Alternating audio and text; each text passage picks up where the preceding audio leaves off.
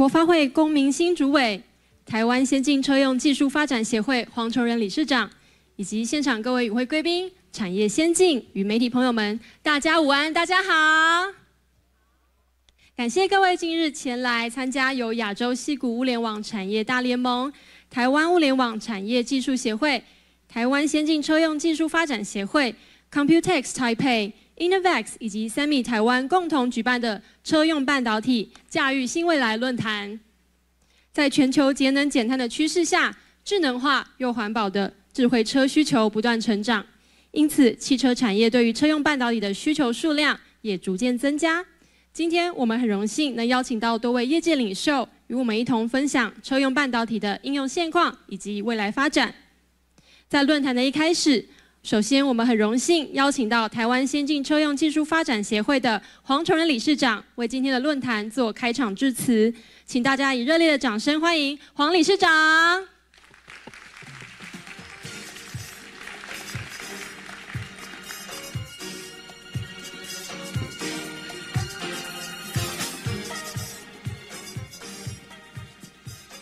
呃，恭诸位各位来宾哦，各位朋友。没看到这么多人呢。呃，我们记得我们开始成立他打的时候啊，大家才开始讨论到汽车电子。那么时候的方向就是汽车电子，一个是已经有的车厂啊来用汽车电子，一个是利用汽车电子做新的这个车子。那事实上，汽车电子在这几年哦，那个。发展的速度哦，比我们想的还快。第一个啊，电动汽车哦，用电动汽车方面当然是听的都是电动汽车哦，但是实际上电动汽车很多都是加加速电子化哦。你看现在像特斯拉，像那个呃大陆的这几家，他们全部用很多电子。所以呢，我们汽车电子有一个不一样的东西哦，就是说。各位看，比方说 display 哦，display 你要 display 普通的 display 有 display 的那个 driver，可汽车要另外要另外做啊，另外 certi certify，所以汽车它有一个独特的这个标准哦。那么特别严重的是在 COVID-19 前两年的时候啊，这个汽车电子就一般的电子就缺货啊，那。所以造成很大的影响啊，引引致各国都想要做半导体。那么现在汽车汽车电子哦，就涵盖的范围就稍微复杂一点。比方说，sensor sensor 车用的跟一般用的也不一样哦，所以我们现在开导一个不同的的领域。那更重要的，我想下一步啊，AI 哦，但是因为现在的 AI chip 呢，大部分都是大家做 MBU。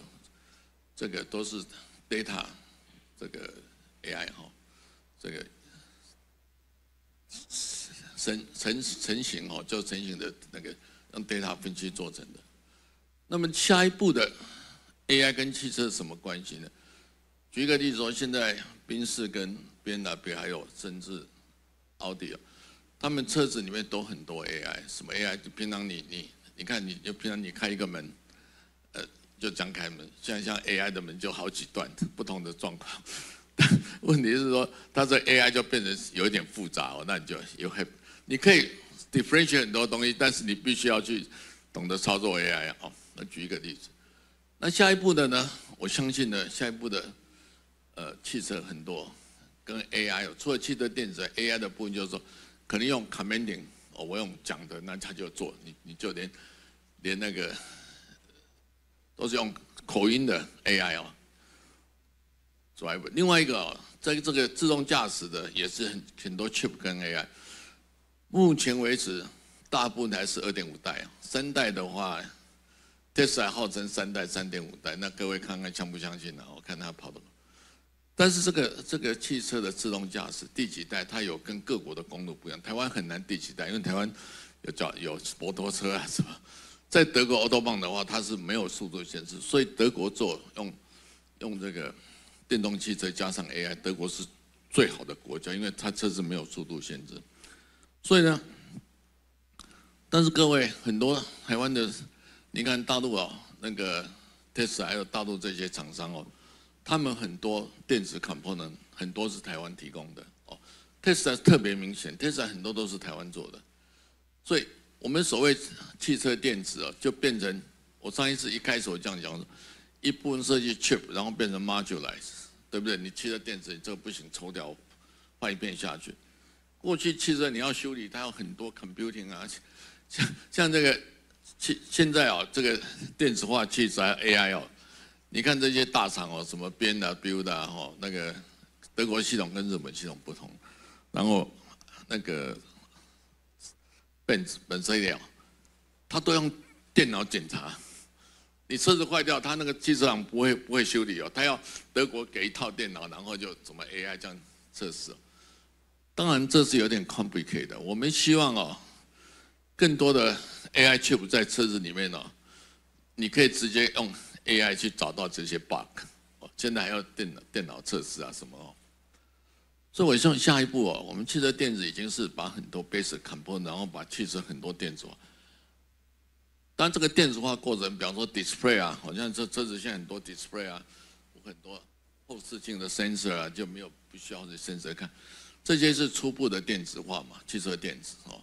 那另外一个是说，那个 HMT 的，他们也是做那个，但是那个完全电子化以后的电子的小汽车，现在才在开始方兴未艾。那那个特色是什么？呃，那个特色第一个价格要降低，然后这个现在就必须要跟汽车的那个、那个、那个电动汽车的这一部分要整合嘛。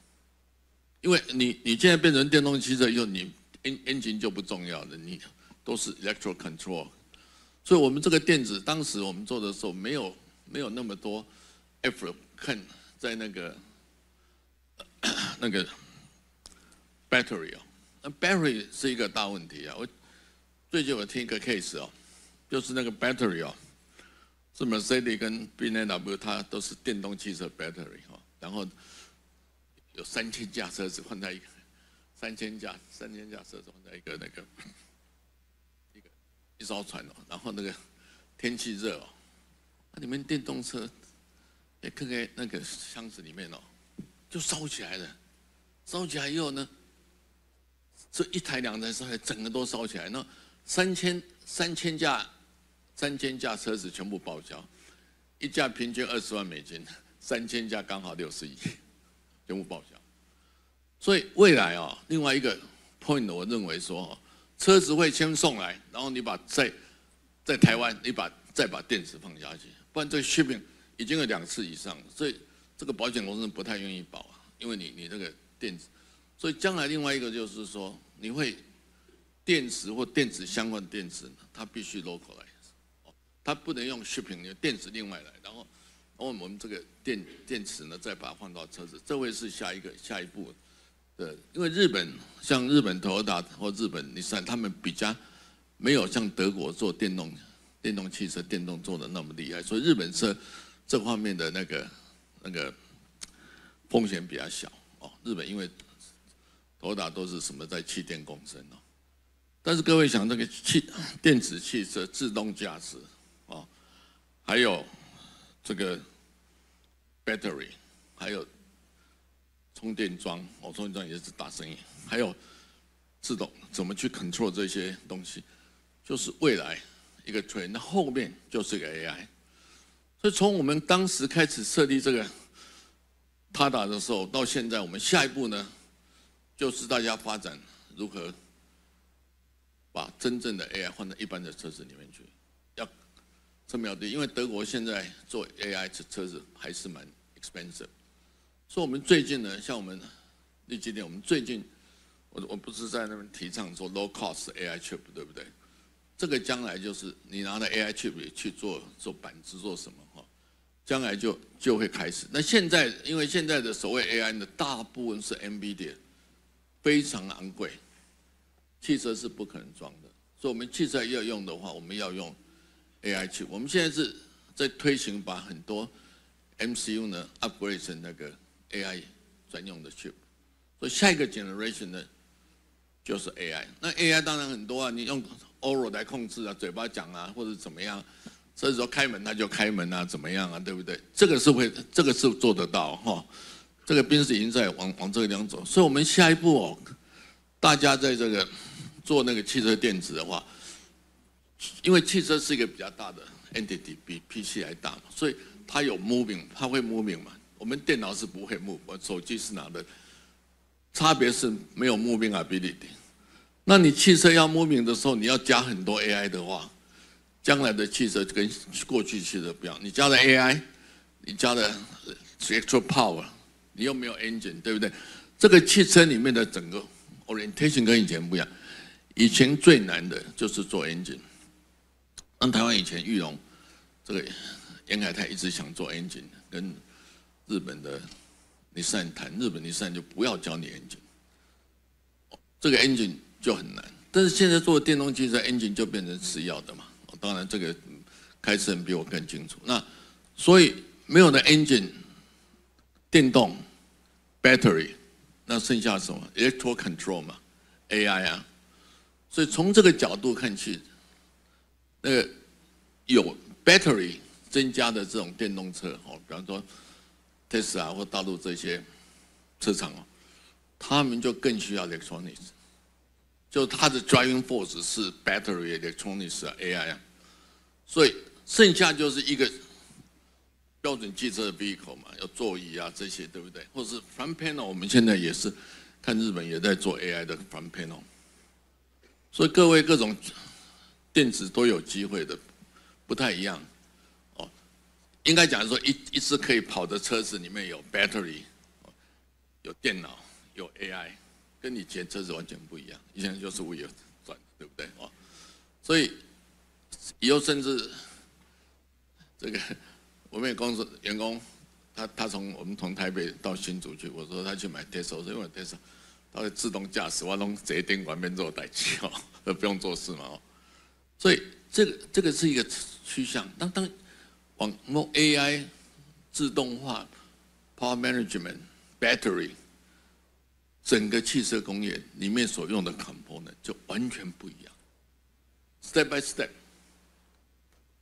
当然作为一个闭口的，它的基本的条件轮知道，威尔做下来，这个都一样，但是后面的 begin 都不一样。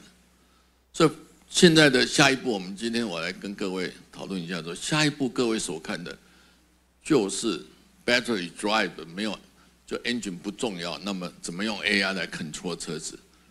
那么其中之一的 AI 就是说，你以后你钥匙插进去，说开动它就开动，这也是 AI 嘛？这是最基本的 AI。我说根本不要再继续滑动，说开动它就自动开动，对不对？开门自动开门，是 voice control，it's going to happen。另外一个就是说，我刚刚讲过，说现在因为刚刚才自动化 AI 的话，车子这坏掉很难修理，很难麻烦呢，我要修好几天。未来它可能有 AI 的 chip 可以自动 detect 到车子什么问题，像汽车厂就省了很多力气。所以，我们这个呃产业有必须要跟着整个 trend 走，AI。但是这个 AI 不是现在我们 NVIDIA 所提倡那种 database AI 不一样啊，汽车自动化可以可以 recognition voice 啊，可以怎么样哦？这些呢，我想做电子业跟汽车业越来越 hybrid。我刚刚讲的，你把可以动的布拿走，剩下都是电子。所以我的我当时的想法就是说，gradually 这个 chip 啊，electronic power 啊，会 take replace 很多以前传统的汽车用的东西。他们剩下当然是那个那个那个一个基本的车子需要坐上去需要轮的这些都需要。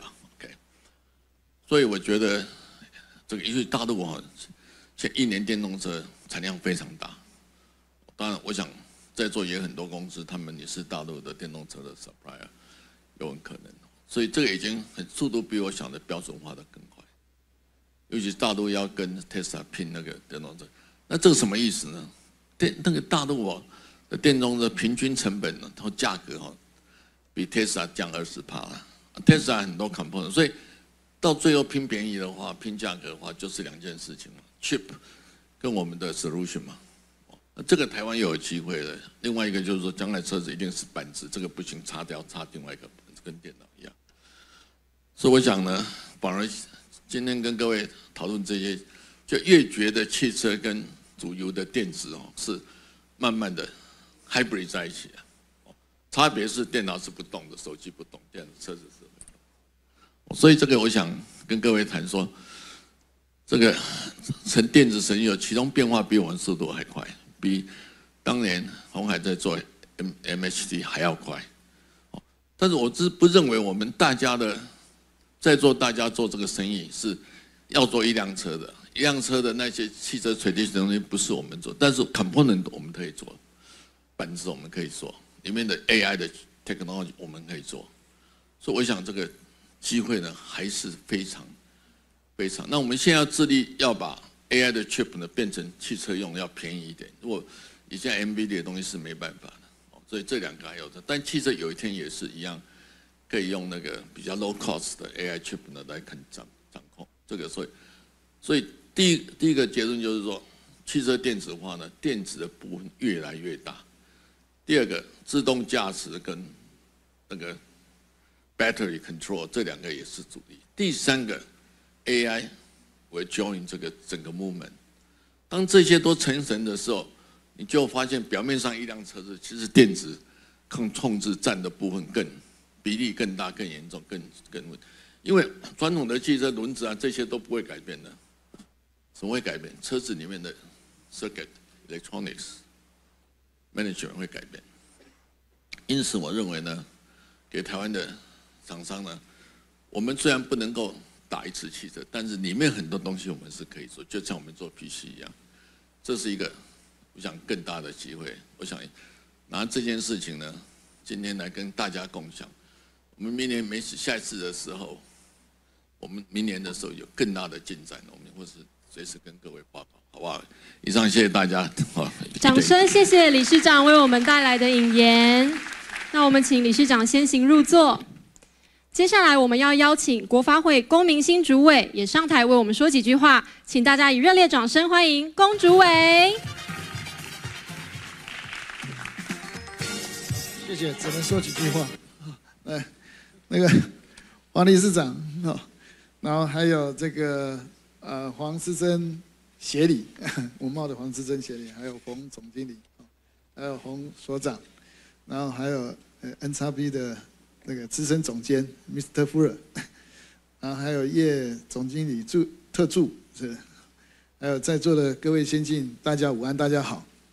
那呃非常高兴可以来参加今天的这样的一个活动。那刚才黄理事长讲说，哇，好多人哦。事实上一楼人更多。这个刚才进来的时候，真的人非常多。但是一楼主要是看展览的了。展览呢，就是看现在的技术发展到哪里。我们这边很重要，我们这是谈未来的技术、未来的发展，maybe 是未来十年、二十年，所以更重要。所以也有很多人很关心这样的一个事情那我看了一些资料比如说车测中心给我们的资料是，呃，二零一零年的时候哈，一台车子的车用电子啊，占它的成本大概是百分之三十。那预估到二零三零年的时候呢，啊，整个车用的电池占它的总成本会达到百分之五十，啊，不过刚才王理事长讲哦，这个可能还会再提高，如果 AI 的元素再加进去的话，maybe 这个还会再提高。那一部车哈，那原来用的这个晶片，大概是两百颗到三百颗，那未来到二零。呃，四零吧，还是多少？未来大概是要到两千颗以上，这是的晶片。那你想想看，如果到二零四零年的时候，预估了，这是 I E K 的预估，呃，大概年产量会有五千辆，哦的电动车，哦，五五千万辆，五千万辆，对，哦，对，五千万辆，哈，五千万辆，每一台两千多颗的话，就是。一千亿颗以上，哇，这么大的量，所以这个是很重要的一件事情，也也是虽然讲是商机，但是很重要。如果没有办法做成的话，这个电动车就没有办法这样的一切发展啊。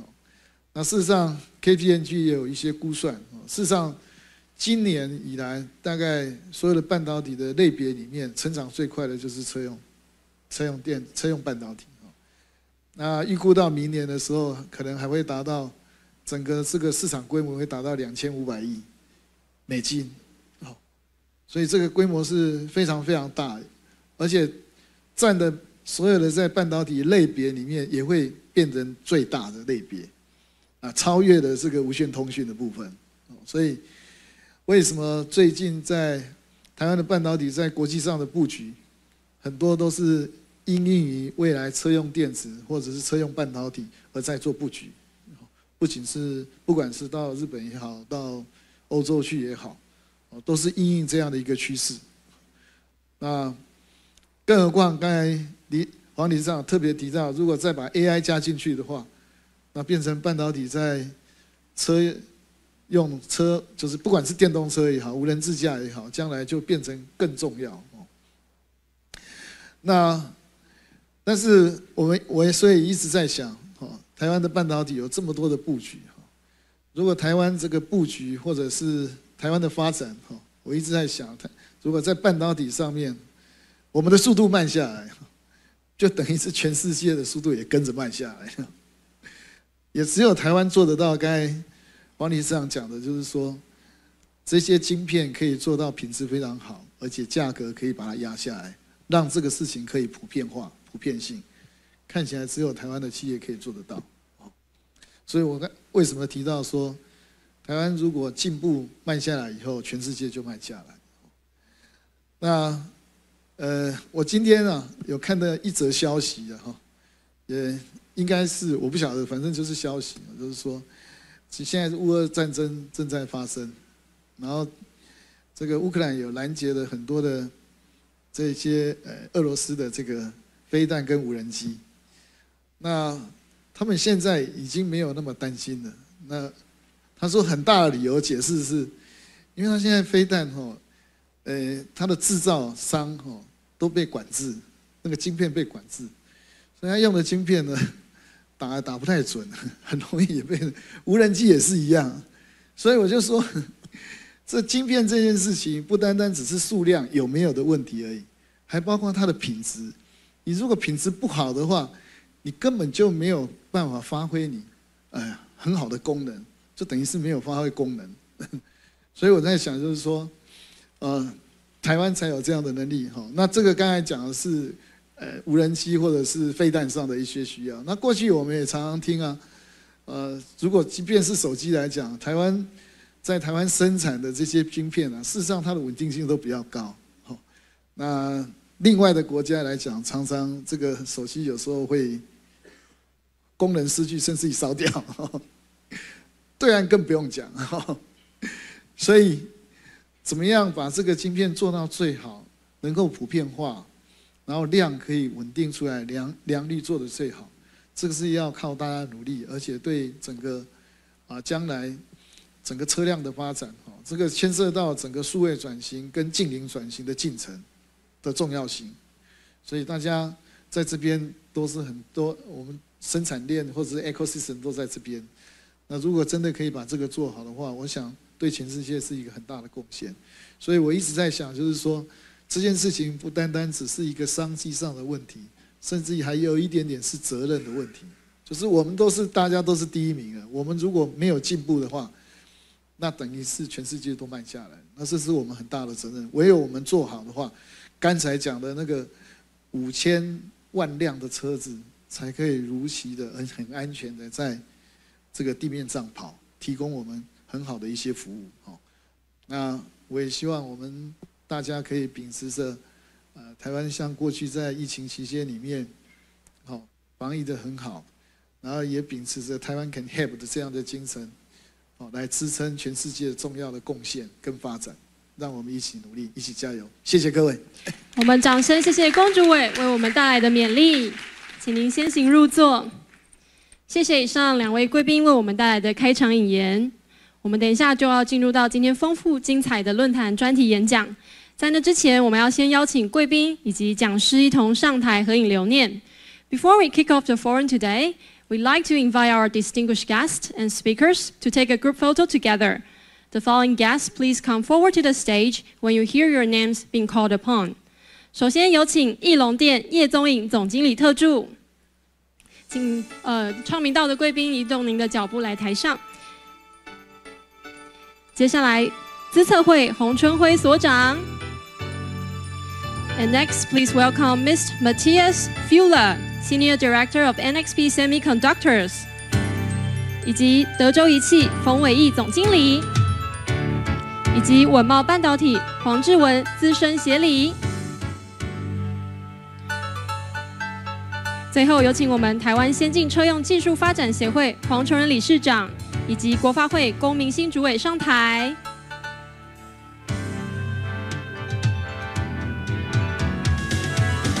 好的，那我们线上台上的贵宾都已经就好定位，我们请您一起看向中间摄影师的方向。我们齐聚在此，促进车用半导体的产业发展。现在要留下珍贵的一幕。Please look at the photographer at the center and smile, please. Three, two, one, cheese. 好，那请各位贵宾帮我们比个赞好吗？用您的左手来比个赞，thumb up, please.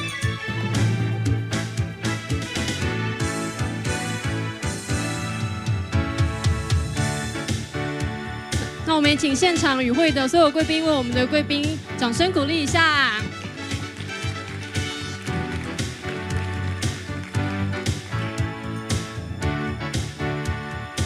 好的，谢谢各位，请各位贵宾先行回座。Thank you all. Now please kindly return to your seat. Thank you.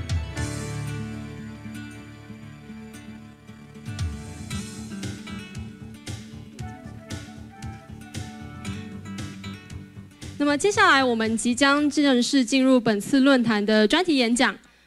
Now we are moving on to the first talk of today's forum. 讲到半导体，就不可以不提到 NXP Semiconductor。我们今天的第一位讲师就很荣幸请到 NXP Semiconductors 的资深总监 Mr. Matthias Fuller 来与我们分享。他的专题是下一代汽车注重的舒适性和安全性功能，推动 ADAS 需求增长。Our first speaker is Mr. Matthias Fuller, Senior Marketing Director of NXP Semiconductors. His topic is Next Generation Comfort and Safety Features Drive Growing ADAS Demand. Let's welcome him. 请各位现场嘉宾为我们讲师带来热烈的掌声鼓励。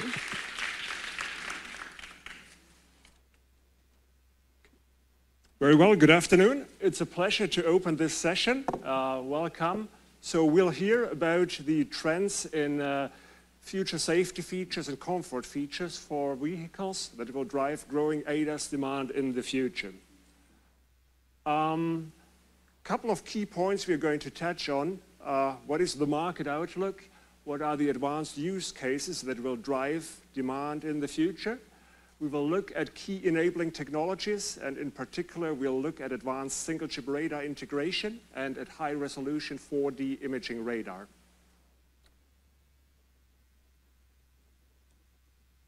So starting with the market outlook, um, where we see growth in ADAS demand, and this is a 2030 view of the market. On the one hand, there is growth in higher levels of autom uh, autonomy, level four features. We see robotaxis, we see autonomous transportation services enter into the marketplace. But at the same time, the growth is going to remain modest, so 4% of vehicle production in 2030. On the other hand, these vehicles will be equipped with a large number of very high performance sensors to really accurately monitor the environment of the vehicle. But on the other hand, here shown in the middle, where the lion's share of the growth will happen, that is for so-called level two, level two plus vehicles that are driven by the introduction of new comfort features like highway pilot, automated park assist, traffic jam assist, etc., where the driver is still assumed to be present, which is getting us around the liability issue with higher levels of autonomy.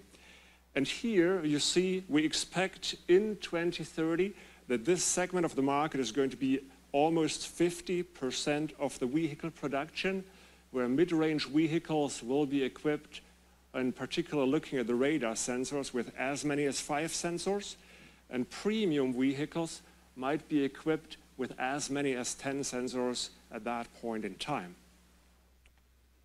Now, what that translates into, specifically looking at automotive radar sensors, that is a so-called triple acceleration, where more cars will be equipped with radar driven by safety regulations. We'll have more radar sensors per vehicle driven by new comfort features, 360 degree surround sensing. And eventually, there's a uh, growing demand for more performant radar sensors where we can accurately monitor the environment of the vehicle. And that does translate into this S-shaped growth curve we see on the right-hand side, where now in 2024 we'll have approximately two radar sensors per car uh, relative to the overall vehicle production. By 2027 we'll have three, and in the long run we'll aim for five radar sensors on average at 100 million units produced per year. This is 500 million sensors per year in the long run. So uh, what do car manufacturers want actually? What do OEMs want? Uh, OEMs, they do want an integrated sensor suite. They do not want island solutions. They want scalability. And what, what does that actually mean? And where are we starting from? So today, today, most vehicles are equipped with three radar sensors, one in the front for cruise control automated emergency braking, two rear sensors for blind spot detection. But now let's look at 2025. So the introduction of new comfort features results in more sensors equipped. Mid-range vehicles will have five sensors, four corner, one front. We'll need longer detection ranges so we can detect these objects further out in the distance. Premium vehicles will have as many as 10 sensors, rear-facing sensors, side-facing sensors, so we can get advanced 360 degree surround sensing.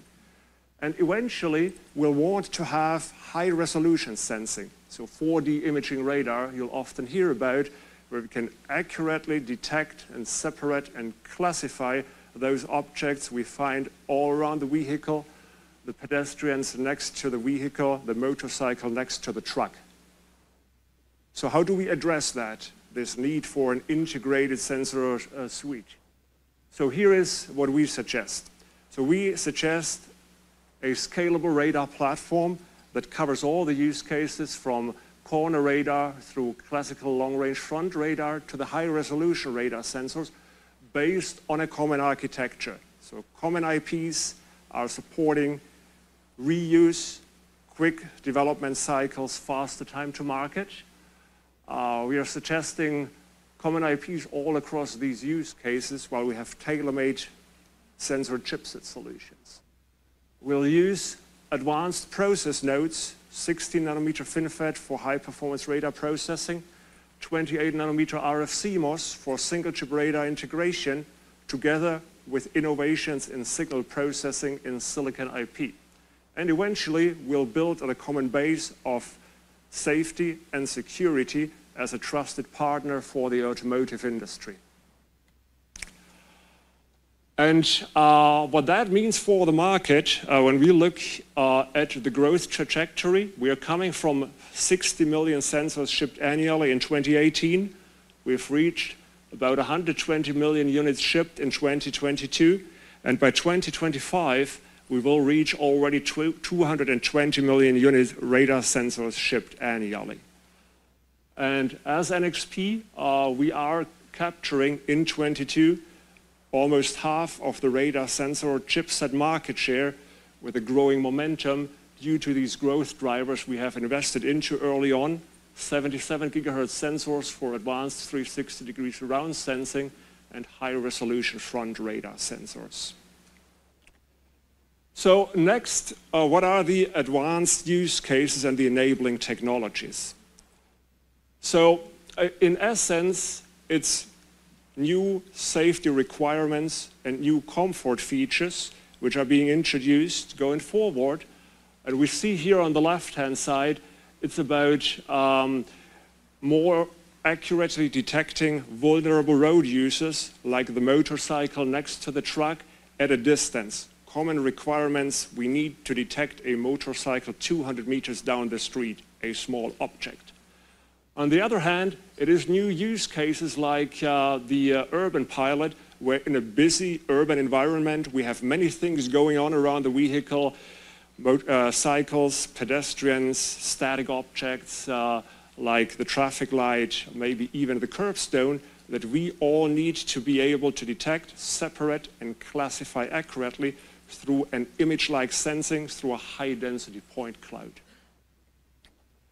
And the technologies that we are investing into that will make this happen are, on the one hand, high-performance single-chip radar integration, and on the other hand, 4D imaging radar that allows image-like radar sensing like you would enable, like, like would expect from a camera sensor, and possibly replacing much more costly LiDAR sensors. So first of all, um, a closer look at one-chip radar integration based on 28 nanometer RF CMOS technology. So earlier in the year, we introduced the SAF 8500, which is already our third generation RF CMOS radar. At this point, industry's first and only 28 nanometer RF CMOS radar chip. And what does that do for us? So we are getting higher level of integration. So the radar chip now fits onto a finger chip. So this is how small it can get. And with that, we get really small form factor sensors. So you see that sensor we demonstrated earlier in the year at Consumer Electronics Show in Las Vegas. It's a five by five centimeter footprint. Easy integration into the vehicle, uh, blends in, serves the uh, dictate of industrial design. What it means as well, 28 nanometer RF CMOS steps up the millimeter wave, the RF capabilities, and that gets us longer detection range. Now we can see the motorcycle 200 meters down the road. Now we can see larger vehicles like trucks or cars 300 meters down the road.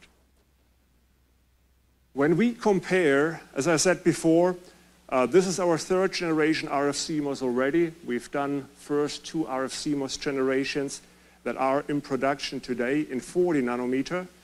We see 28 nanometer offers compared to 40 or 45 nanometer for that part, a significant compute performance increase, and in particular, a significant RF performance increase that enables us to see further out into the distance, that enables us to see smaller objects, that enables us to more accurately separate these objects.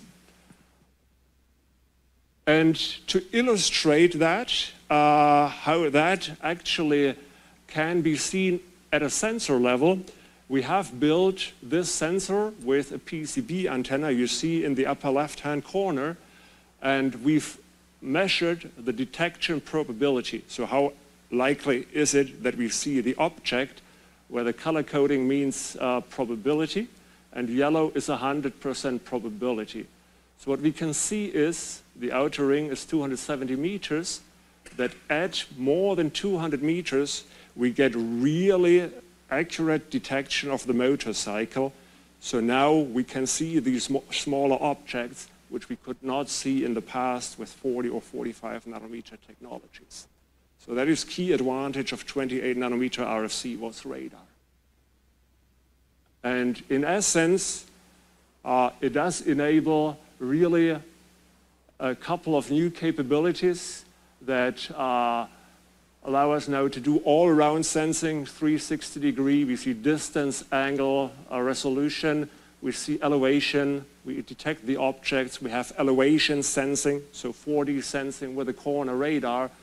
So really a different level of radar sensing compared to what we've seen before. Then let's talk about 4D imaging radar. So high resolution 4D radar sensing. So what, what does 4D imaging radar do for us? So three main things we expect from a high resolution sensor. There's sub-degree angular resolution, so we can separate one object from the other one. There's a high density point cloud, so we want to get more details about each and every object, so we can do proper object classification. And eventually, our 4D imaging radar does three-in-one sensing across different ranges, different field of views, so we can observe different scenes all around the vehicle. Now, in order to deliver a good imaging radar, you need actually a whole lot of ingredients. So there isn't a single thing. We need to master the RF CMOS for the millimeter wave front end we need to master high performance processing with dedicated radar acceleration to do the heavy number crunching required for high resolution algorithms. We need to handle MIMO waveforms so we can operate all the antennas simultaneously. We need to master the antenna design and we need to work on the algorithmic side to enhance beyond raw hardware capabilities high-resolution processing algorithms, interference mitigation, etc. That makes for a good 4D imaging radar sensor. And that now allows us to really do LiDAR-like high-density point cloud detection with a radar sensor where we get in this busy urban scene in front of a shopping mall a lot of detail about the objects that are in front of our vehicle, the pedestrians, the cars, static objects you see on the side here, all clearly visible, all well separated, can be classified based on radar sensor data. But it's not just the uh, environmental mapping, the high density point cloud sensing near the vehicle. Radar sensor, for the imaging radar sensor, allows us to do multi-mode operation, three-in-one sensing.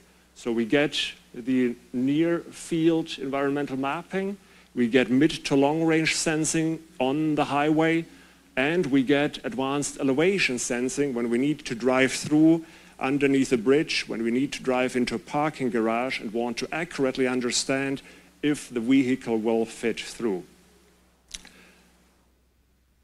With that, there are a few things I would like you to take away from this session.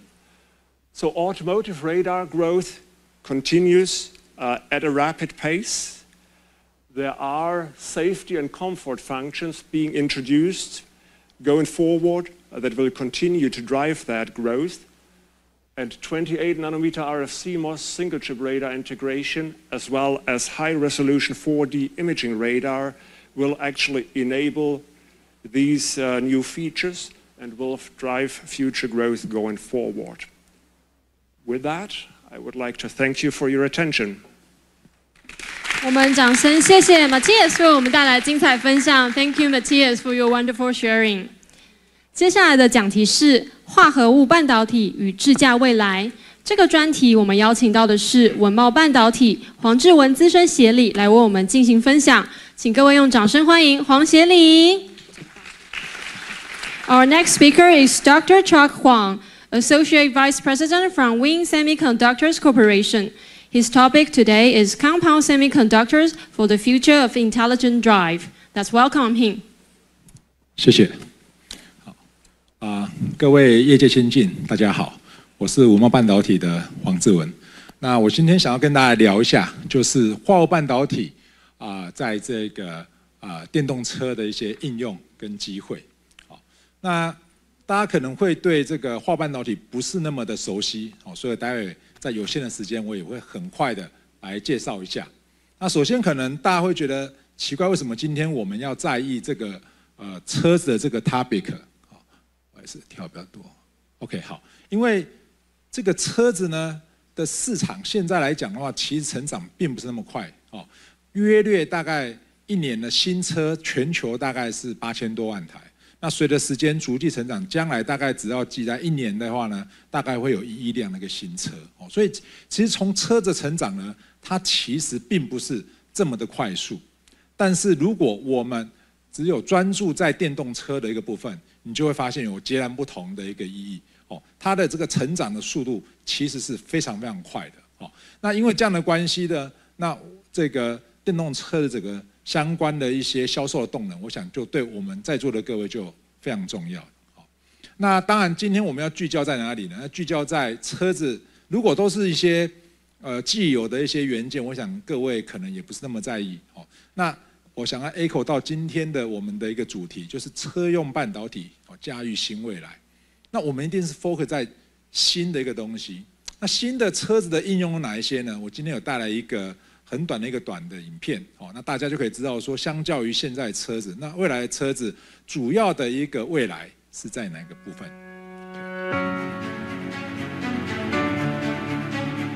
但，启动之后呢，有很多相关的一些晶片，包括刚刚李三说的 AI 晶片啊等等都好。那在车室内呢，也会来监控这个驾驶者的一个驾驶的一个状态，甚至包含了乘客的一个情况。对，那这个都是称为叫 ADAS 相关嘛。就像刚刚这个 NSP 的这个讲者刚有提到，那当然有一些光打等等这些应用。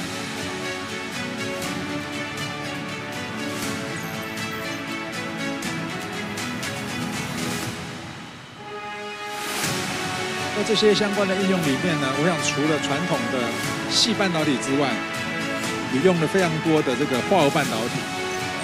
那为什么化合半导体有什么它的一个优势？待会我会简单的把它讲述起来，然后跟各位来报告。好的，那这些新的应用呢，其实有很多是基于化合半导体。那我就把它简单概分为两个部分，好，那就是用在所谓的无线通讯的 RF 跟所谓的光的一些应用，哦，就主要是这两个。那这两个部分来讲的话，其实都跟化合半导体息息相关，哦，那为什么呢？我们先从 F 的部分来看，哦，就是这个无线通讯。其实现在的车子，新的车子出来讲的话，有很多其实都已经有内建无线通讯的一些系统在里面。好，那在这里面来讲的话，其实都有用到化合半导体。好，那我们来看一下为什么需要化合半导体，而不是用各位所熟知的这个细哦这个半导体就好了。啊，其实最主要是因为本身的这个元件的一个特性啊，物理的半导体的这个物理特性，因为它的传输速度很快。哦，啊，大概是多快？大概是一般细半导体的大概是六倍。好，那这个约莫就等于如果呃细半导体是一台摩托车的话呢？那这个呃电子在这个化半导体传输度就像一台高铁一样，好，那这样子的一个特殊的特性在车子的应用有什么好处我们来看一下，好，就是说在车子的一个应用来讲的话，其实五 G 的规范就已经有定义了。五 G 跟相较以前的二呃四 G、三 G、二 G，好，最大的一个差别在哪里呢？五 G 有一些新的应用，哦，那这里面呢包含了所谓的呃，超宽的一个频宽，哦，就资料量，这个可能大家比较直觉，因为好像二 G、三 G、四 G 都是一样，传输质量变大。但是还有另外一个是什么？就是低延迟。哦，那为什么要低延迟呢？是因为将来在自驾车的时候，它要有一个快速的反应，来确保这个乘客跟驾驶的安全。所以这样的一个情况之下，它就需要一个非常快速的一个反应的动作。哦，那五 G 呢，就有这样子的一个相关的一些规范在里面。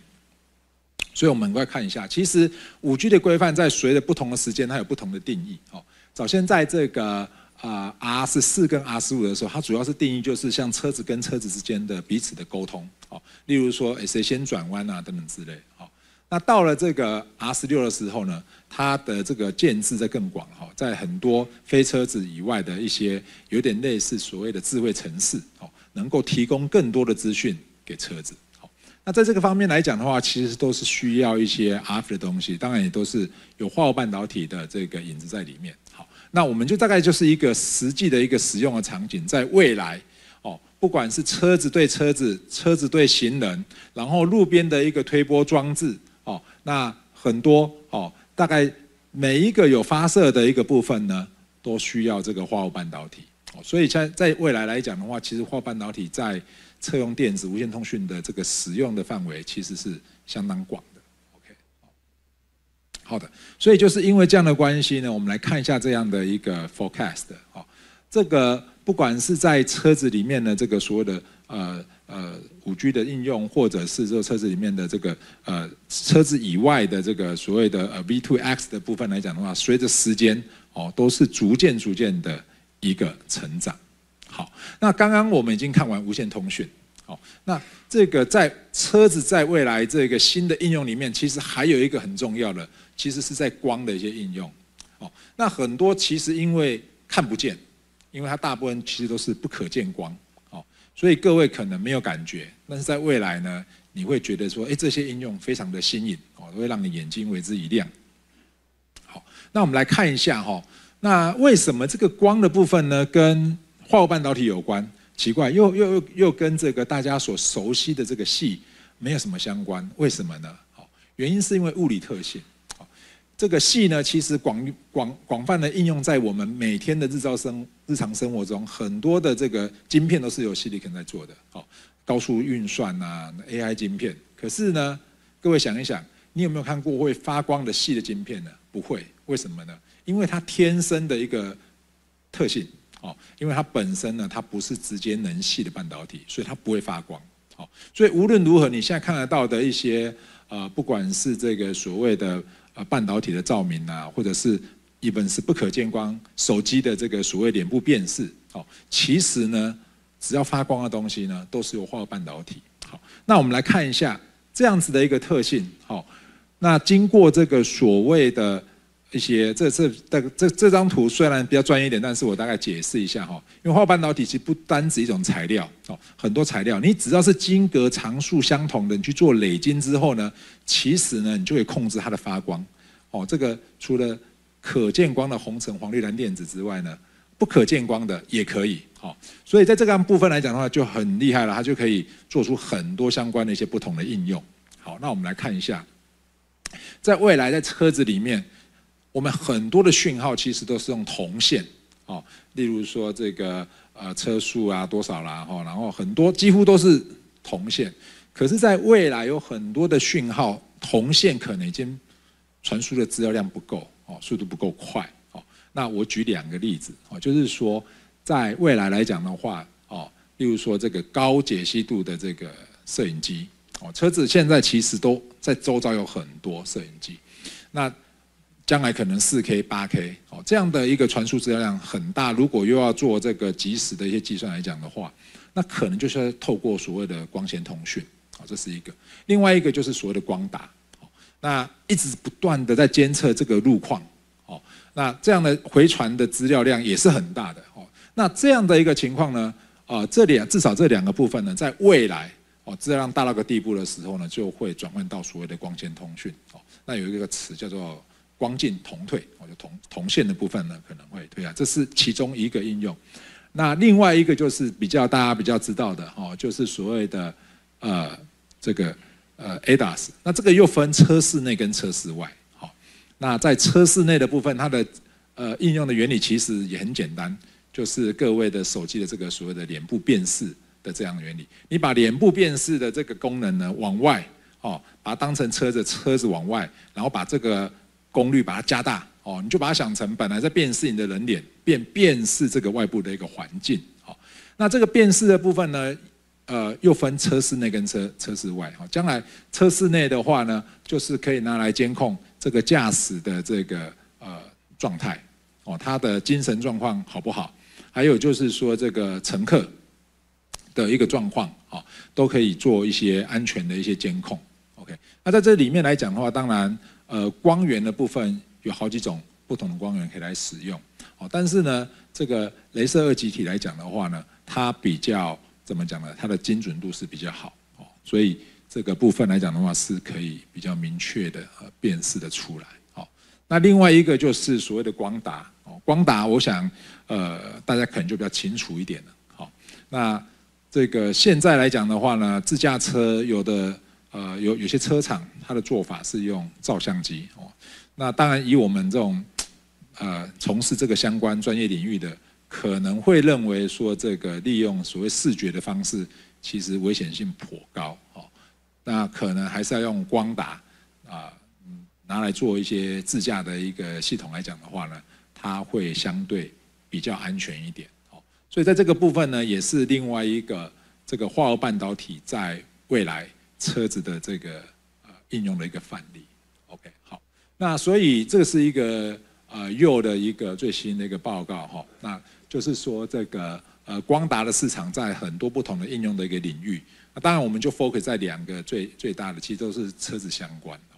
那呃这样的图，我相信呃各位应该是呃屡见不鲜，但是我想。呃，在所有的这个电子产业的各个领域的，呃，我想光达的它的成长性，哦，这个所谓年复合成长率，呃，这个其实是相当大的，哦，所以在这个部分来讲的话，我想是值得大家参考一下。好，那我想我今天的一个介绍的部分呢，我想要用呃这张 slide 呢来做个总结，哦，那呃虽然我没有刻意的介绍呃我们公司，哦，那我就用口头的方式。那来跟各位这边来介绍一下，那文茂半导体呢，其实从事就是我刚呃一直提到的这个化物半导体，好，那这个可能大家听到这个系的这个台积电常常听到很有名，哈，就是这个护国神山。那文茂半导体呢，在这个化物半导体的这个代工的这个领域呢，其实我们也呃表现的还不错，还可以。我们现在目前是全球这个市占率是第一，哦，这个呃。这个市占率的这个部分来讲，纯代工的部分大概有超过七成的一个市占率。那我们的一个技术呢，现在目前广泛用在很多呃，不管是呃无线通讯啊，或者是光通讯啊。那例如这个现在的五 G，包含了基站呐，包含了这个卫星通讯。那我刚介绍的都是不管是现在或者是在未来车子相关的应用。那当然还有前阵子很红的这个所谓的元宇宙的这个部分，好，那最后就是还有很多三 D 的感测等等之类的，好，我想都会有这个化半导体的影子，哦，那我最后呢，呃，conclude 我就要 echo 到今天的一个主题，哈，就是车用半导体，那驾驭新未来。我想经过我的介绍，希望说在座的各位能够对这个车子在未来的一些应用有一些想象，那也能够透过我简单的介绍。能够了解到说，那化合半导体在车子的新应用里面又扮演哪些角色？OK，谢谢大家。谢谢我们，谢谢文茂黄资深协理为我们带来精彩分享。那么接着我们要请到的是德州仪器冯伟义总经理。冯总经理将针对先进电源管理系统推进汽车电气化的未来与我们分享。Our next speaker is Mr. William Fong, General Manager, Texas Instruments Taiwan Limited. His topic today is driving vehicle electrification forward with industry-leading battery management system technology. 我们掌声欢迎冯总经理。呃，各位贵宾，还有各位产业先进，大家午安，大家好。我是冯伟义 William，呃，很荣幸，很荣幸今天有机会代表德州仪器来跟大家一起分享这个。呃，蛮有意思的话题在于我们如何一起加速车子的电气化，以及电动车最重要的一个部件，呃，它的 BMS 电池管理系统，啊，在德州仪器在这部分我们最新的技术以及接下来的发展。我在今天二十分钟的投影片里面，呃，大概会用前面两页先跟大家简单的 brief TI 这呃最近的近况，以及我们的呃一些 focus。那后面有六页，我会再进一步谈 TI 在 BMS 电池管理系统里面我们的呃技术的演进以及接下来的发展。嗯，TI 去年的全球营收二十个 billion，那主要来自我们两个主要的核心事业，类比 IC 跟嵌入式产品。那我们。持续在投资在我们更多的产能跟我们的 IC 研发，来致力于新的技术跟新的发展。我们在去呃去年二十个 billion 的营收里面，八个 percent 我们拿来做新的 R&D 研发，那其中的十四个 percent 去年的营收拿来做我们 capital 的 expenditure，也就是产能的扩充。那呃我们总共现呃目前有八万多颗不同的 IC，类比 IC、嵌入式 IC，呃应用在全世界超过十万个客人。那这些分布在各种不同的应用、不同的市场，其实我们觉得很 exciting，是我们认为 diversity 是一个长期稳健成长一个很重要的一个一个优势。我们也会继续在这个部分努力。但 across 这么这么多的 market，我们当然特别 exciting 在车用，就像今天我们的主题一样，过去十年，大概十年前，车用 IC 占 TI 的营收只有大概十二个 percent，但从这边可以看到，在去年已经一路成长到四分之一 TI 的营收都是来自于车用这一块市场。它的成长，我们相信它只是刚开始。就像刚刚几位前辈所提到的，接下来的成长是大家都非常期待的。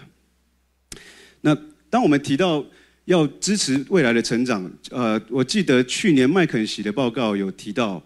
嗯，全球车用半导体的产值大概五十个 billion，在二零二一年，那也预计在二零三零年，五十个 billion 的车用半导体产值会一路呃提升到一百五十个 billion，也就是大约年化十三 percent 的 year over year 的成长。所以，当我们大家都很期待，也看到这个车子电气化的发展绝对是指日可待。我们也都看到这些数字，五十个 billion 会一路成长到一百五十个 billion，那。对于产能的规划，是你今天不做，其实接下来会来不及。尤其是在半导体，呃，如果你要盖新厂，你今天决定要盖，大概等到这个厂可以开始有 output，大概要三年。当它开始量产，到它可以 fully utilization，大概又要在一个二到三年。所以，呃，今年早一早一呃，今年二月的时候，TI 也对市场做呃一个 announcement，我们会把我们的 capital 的 expenditure 从二点八个 billion，呃，拉到五个 billion。per year，然后从今年开始到二零二六年，每一年我们会花五个 billion 美金来扩充我们的产能。我们相信这个很重要。那当然不只是 fab，在图上这边大家看到，我们除了本来就有了两座十二寸的晶圆厂之外，我们呃这边呃已经直接列出七座新的十二寸的晶圆厂。那这些全部都是 focus 在四十五纳米到一百三十纳米。那当然不是说二十八纳米以下的先进制程不重要，但是当我们谈到电源 IC、讯号链处理，或者是 interface、M 一般的 MCU 或者是一般的 wireless 的 connectivity，还有包括雷达，其实很多的时候，大部分这些产品都是需要四十五到一百三十纳米，而且你也没办法往下做，因为这些混混合讯号。的处理，你往下做反而会让你的 cost 更高，或甚至电源 IC 你往下做，你根本做不出这个电源 IC，因为它的它的那个细的呃线宽太细，细到电流电压根本耐不住。所以当我们在做车子的电气化，你需要 CPU，需要 GPU，需要里面的呃核心晶片，周边的电源管理，周边的 interface，周边的混合讯号处理，你会需要四十五到一百三。那这七座十二寸就是 TI，接下来呃我们目前其中两座。包括 R Fab Two 跟利海啊，这两座是呃 L Fab 跟 R Fab Two 是去年下半年我们已经正式导入量产。那目前每天都还在把更多机台放进去来 ramp 我们的产能。那同时我们有三座 L Fab Two 跟 Sherman One 跟 Two 这三座目前正在盖，然后还有两座在我们的 roadmap 里面随时准备启动，来支持未来十到十五年市场的需求，特别是在车用这一块的 demand。那当然，我刚刚漏讲，除了 wafer fab 之外，当然 assembly testing 还有全球物流中心也是 TI 在呃投资的一个部分。那我们相信这个是很重要来应对未来成长的需求以及越趋复杂的呃供应链的状况。那当我们谈到车用的设计，我们先来 recap 一下，当我们在呃设计车用系统的时候，我们通常会面临哪些痛点？那第一个当然是最直接的，就是呃。Security 安全性，它包括 functional safety，嗯，它 functional safety 比较是硬体跟软体本身在设计上面，你有没有去呃考虑到它的安全性？那 cyber security 也是一个越来越被关注的话题。当你开进入车呃车子进入呃互联网的时候，呃，你如何避免跟呃去呃准备恶意的第三方透过软体攻击？那呃 time to market 跟呃能够做出消费者能预期的 cost，当然是一个非常重要的关键。当我们在设计车用系统的时候，那我们当然呃，现在在车子系统，我们常常看到现在有 ISO 二六二六二，也有 ASIL A B C D 各种不同的标准，这是需要被符合的。然后以及呃越来越速度更迭越来越快的这些新的技术的演进，我记得几年前我们都还觉得 Level Two 有点好像蛮厉害的，但是今天你去买新车，大概都蛮普遍能够看到 Level Two，当我们现在看 Level Four，感觉还是一个蛮遥远的未来。五年后的今天，如果我们都聚在这里，也许我们的话题又不一样了。那当然，最后也是这几年非常呃被关注的一个议题是，当我们在做汽车电子设计的时候，如何也同步考虑进整个供应链上面的，接下来可能会遇到挑战。就像 Toyota 过去从 JIT 啊 Just in Time，在过去疫情期间，它其实呃领先的做到金石管理在它的整个供应链里面。那接下来对于 supply chain resilience 也会是大家一直都会很关心的一个议题。所以当我们那当我们谈到 BMS 汽车呃的呃，通常投影片走到这边，可能要先问一下，要稍微有一些互动。嗯，我可以问一下大家，有多少人现在是开电动车吗？大概十 percent。那有哪些人下一台车想要开电动车？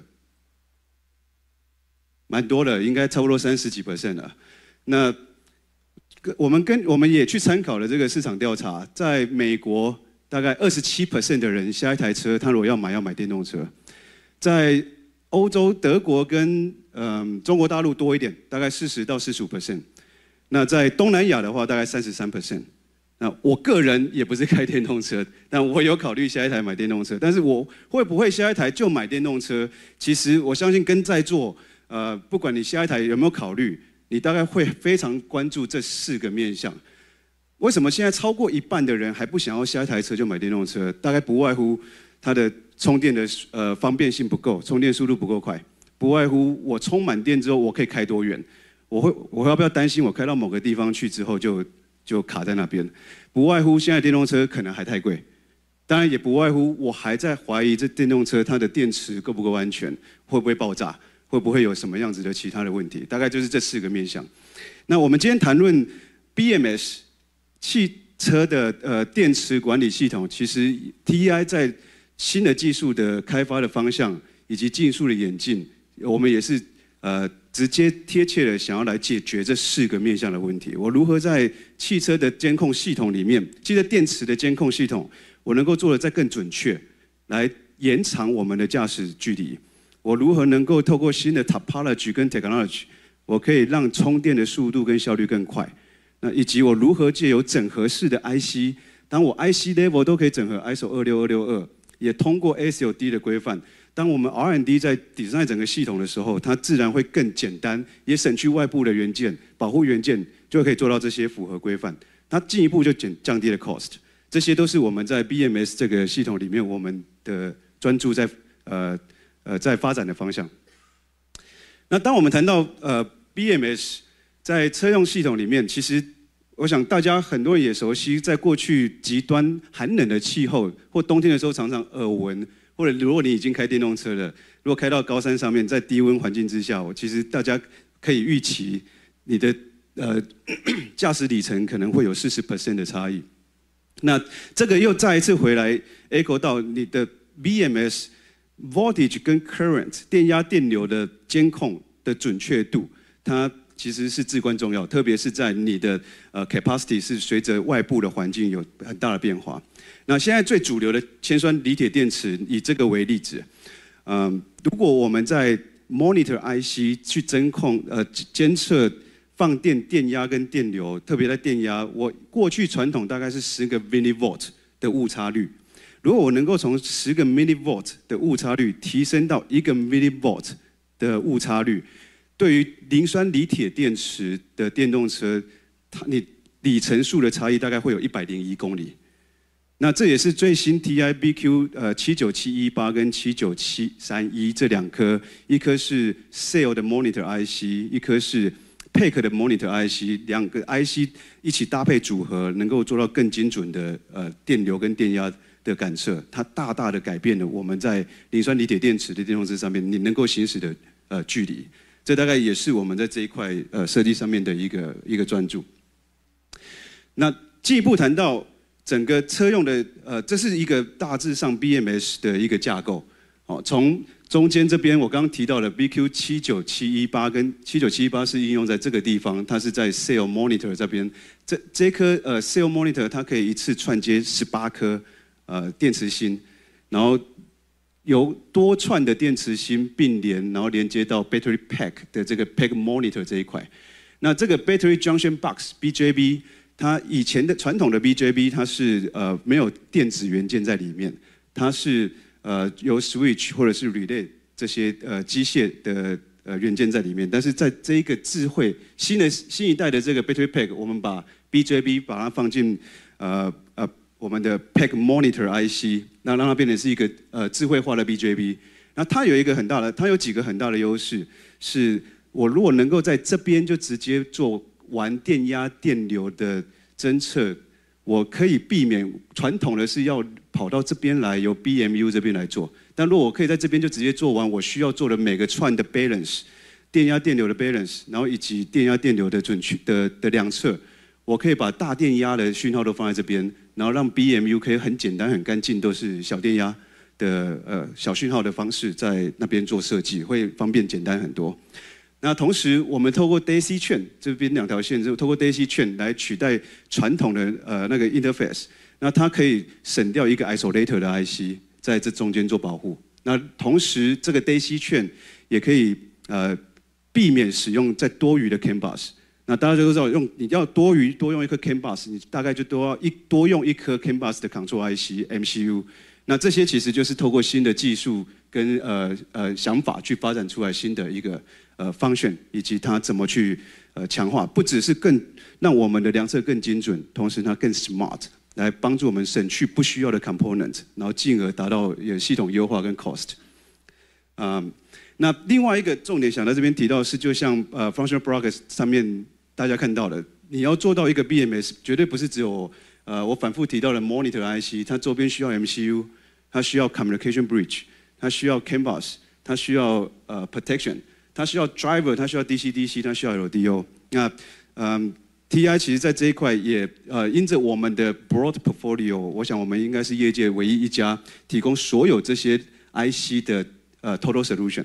那我们也因因而因因着在这一块，把我们所有 total solution 全部都在一起，包括我的 MCU，能够做一个 reference design，让客人能够很快的呃，透过我的 reference design 跟我的 EVM 能够直接评估，然后加速你的开发跟呃 time to market。那这一页我们进一步谈到，在刚刚过去我们谈到线下 TI 的在 BMS 的发展，那接下来 TI 会继续往哪个方向去？呃，引领导这个呃车用 BMS 的开发跟技术的演进，其实我们非常 exciting，在这以上六个面向。呃，最左边这边是我刚反复提到的，从十个 millivolt 到一个 millivolt，让我们能够多开一百零一公里。那当然，我们也会希望在这个方向上面继续致力于更精准的侦测在电压跟电流。那另外一个，我们呃我个人觉得很 exciting 是在 wireless 的 B 的 BMS。我们刚刚提到透过 DC 券可以省掉一些。呃，线材可以省掉一些呃沟通上面的一些 component，但如果我们进一步走到 wireless 的 BMS，你那台电动车打个比方，一百个 cell 的电动车，你如果是有十十颗一串，你总共会有十个 pack，那你大概就要十十组不同的线互相连接，连接到你的呃 controller 那边去，那其实它造成几项困扰。如果我今天车子电池坏掉，我回到原厂去，我可能整个 battery pack 全部要打开，因为它全部都是线彼此连在一起。然后另外，它这些线全部加在一起，它的重量其实是可观的，它的 cost 其实也是比较高的。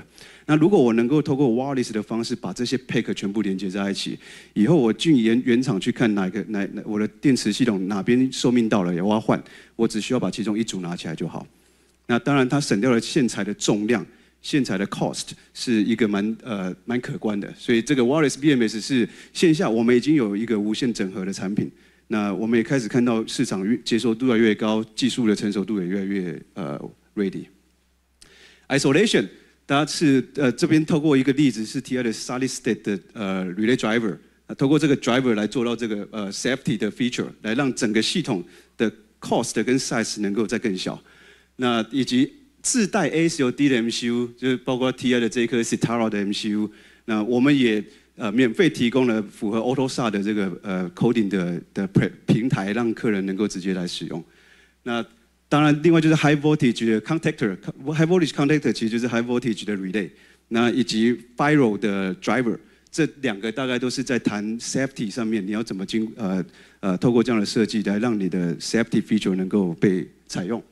那最后是 System Design 的 Resource，也就刚包括我刚刚提到的我们的 Total Solution 以及 Reference Design。那这个其实就是我刚刚提到，我们真的做出了一个真的 BMS，然后可以让客人可以直接在这个板子上面，然后透过 TI Total Solution 可以很快的进入开发，然后进入验证，然后同时去最佳化自己的设计。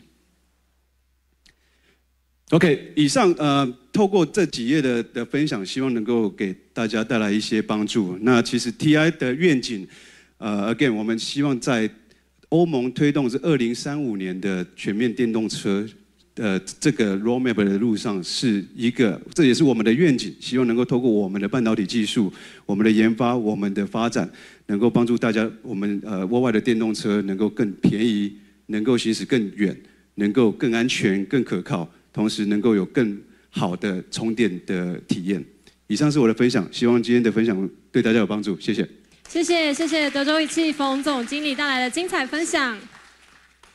接下来的讲题是智慧座舱与先进驾驶辅助系统。这个专题我们邀请到的是翼龙电叶宗颖总经理特助来为我们进行分享。Our next speaker is Joe, Executive Assistant from Elan Microelectronics. His topic today is Elan Smart Cockpit and ADAS Solutions. 我们掌声欢迎叶总经理特助。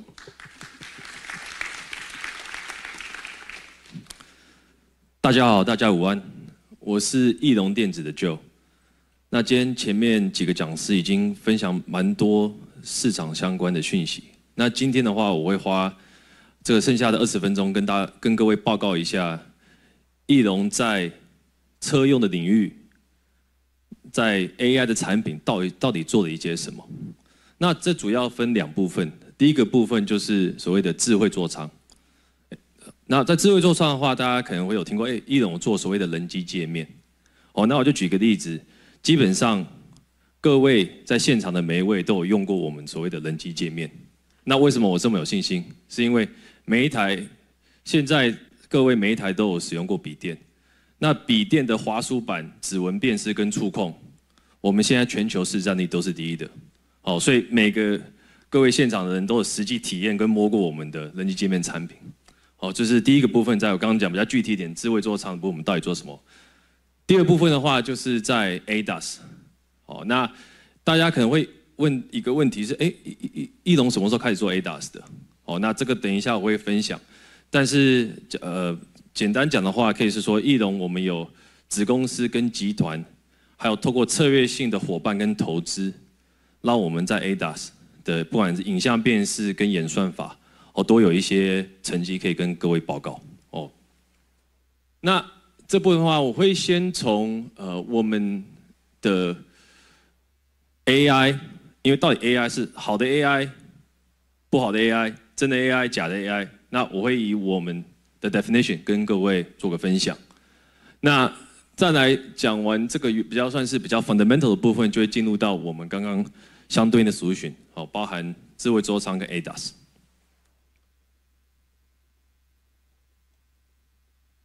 那第一个的话，我刚刚讲到就是比较是 fundamental 的部分，好，就是我们有算是比较算是七个 pillar，我们认为是在 AI 的部分是蛮是非常 critical 的。啊，第一个的话是比较偏硬体的部分。所谓的当然 ISP 就是包含你要有不错的 camera，也要有不错的 ISP 的晶片。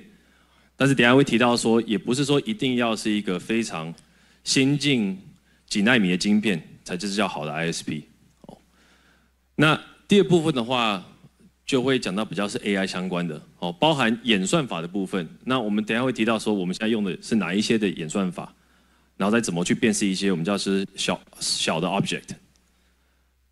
那下一部分的话就是提到就是 data set，为什么 data set 很重要？我等下会提哦，因为你没有好的晶片，你没有好的演算法，你没有好的 data set 去训练、去 training 你的 model 的话，其实是很非非非常危险的，你的产品是不会完整的。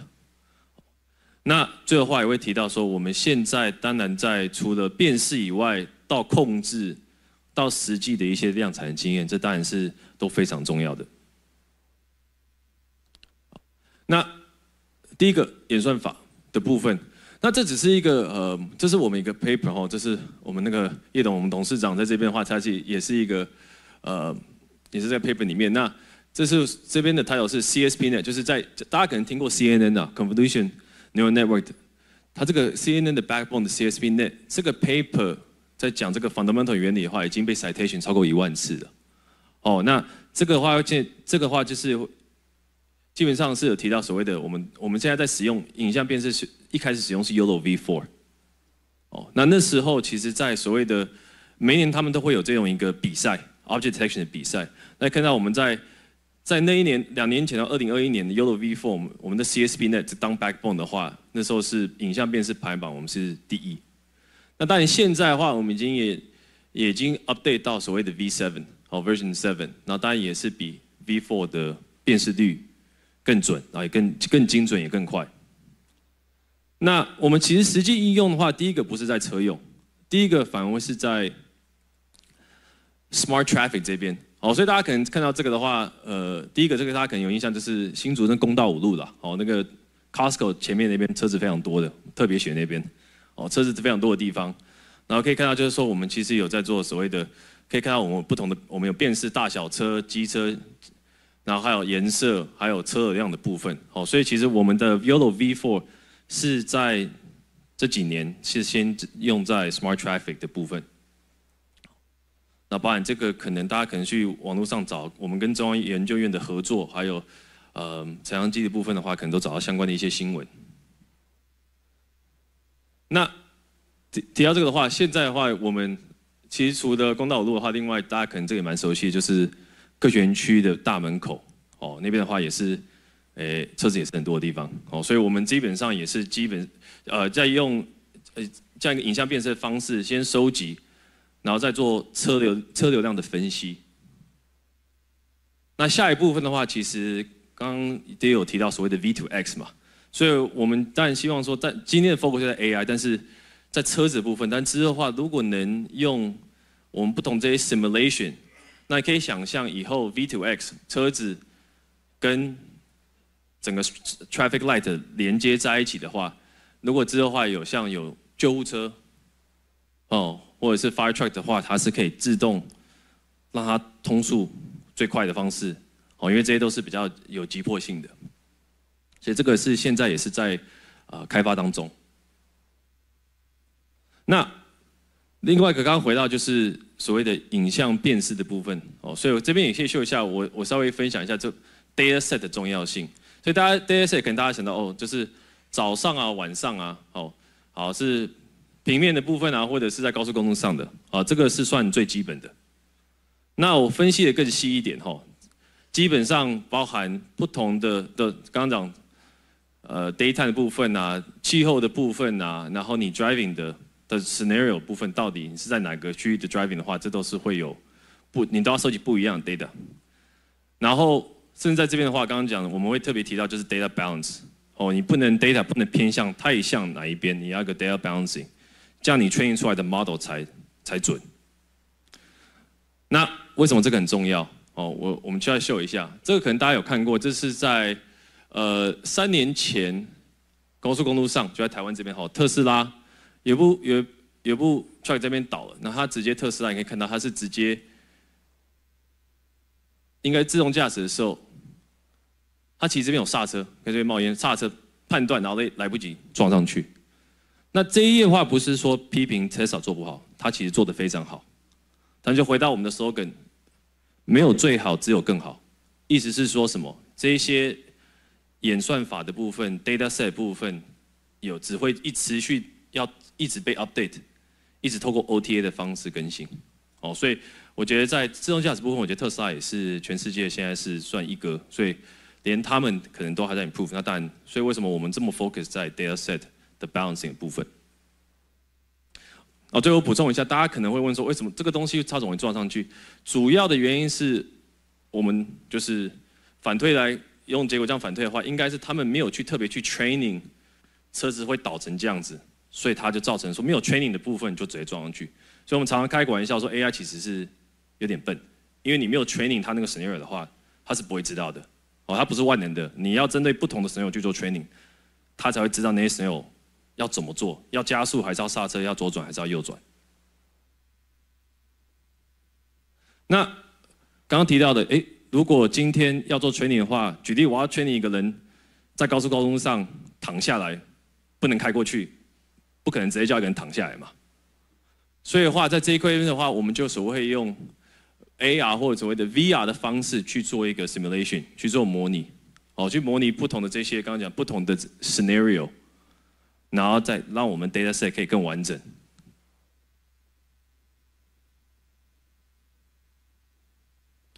那这部分的话，刚刚是整合的所谓的 AR VR，，所以可以看到，就是说，尤其像台湾的部分的话，机车很多，美国机车就很少，哦，这个也是要额外你要去做额外的 training 的，或假车部分，或它有甚至不同国家有不同的这些这些 sign 的话，这些也要做当地的一些 training，哦，所以不是也是万能整套 A 国家直接用到 B 国家，这个东西是没办法这样子的。所以我可以看到，我们用 AR、VR 的部分去做这些的相对应的 data set 还有 training。那最后可能大家常常提到就是 generative AI 了。那 generative AI 的确也可以看到，就是我们通过 generative AI 从这个照片变成这个，哦，这个是上面下面是对应到上面的这样子。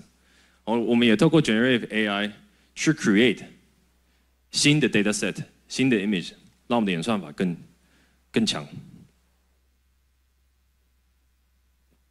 那最后部分的话，其实，在 dataset 部分就是 MLOps。那这个的话，简单讲，可以大家可以看到的话，就是我们可能我刚讲，我们刚刚讲了很多不同 scenario，但是可能在 Tier One 的部分，或者是我车厂的部分，他们认为还不够，或他们有一些更 niche 的 scenario，他们自己要做 training，或他们有些 confidential 的 issue，所以他不能开放给我们这些 dataset。